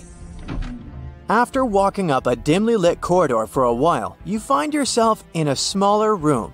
there's at least half a dozen bulky spacesuits inside. There's another door in the room. It looks even sturdier than the previous one. If you wanted to open it, it wouldn't budge. First, you need to put on one of the spacesuits. As soon as it's on, the door automatically unlocks. After waiting for a while in an airlock chamber, you finally make a step outside. You look up and see a beautiful blue orb. It seems to be glowing. It's Earth, and you're standing near your home base on the moon. You walk towards your Jeep. It looks nothing like cars on Earth, though. The vehicle you climb into is pressurized, and you can even take off your spacesuit, or at least your helmet, and ride in comfort. If you need to go outside, well, yes, you can't do it without wearing your protective gear. One of your favorite rovers, produced by Toyota, is the size of two microbuses and can easily fit two passengers and their gear. Of course, you've got the experience of riding it with three other companions, but duh, you were squashed like sardines that time. The vehicle can also unfurl solar panels to generate power. After dealing with all the tasks you had on your list, you come back to your lunar home. Unlike your house on Earth, it looks more like a castle. Due to the extreme temperatures on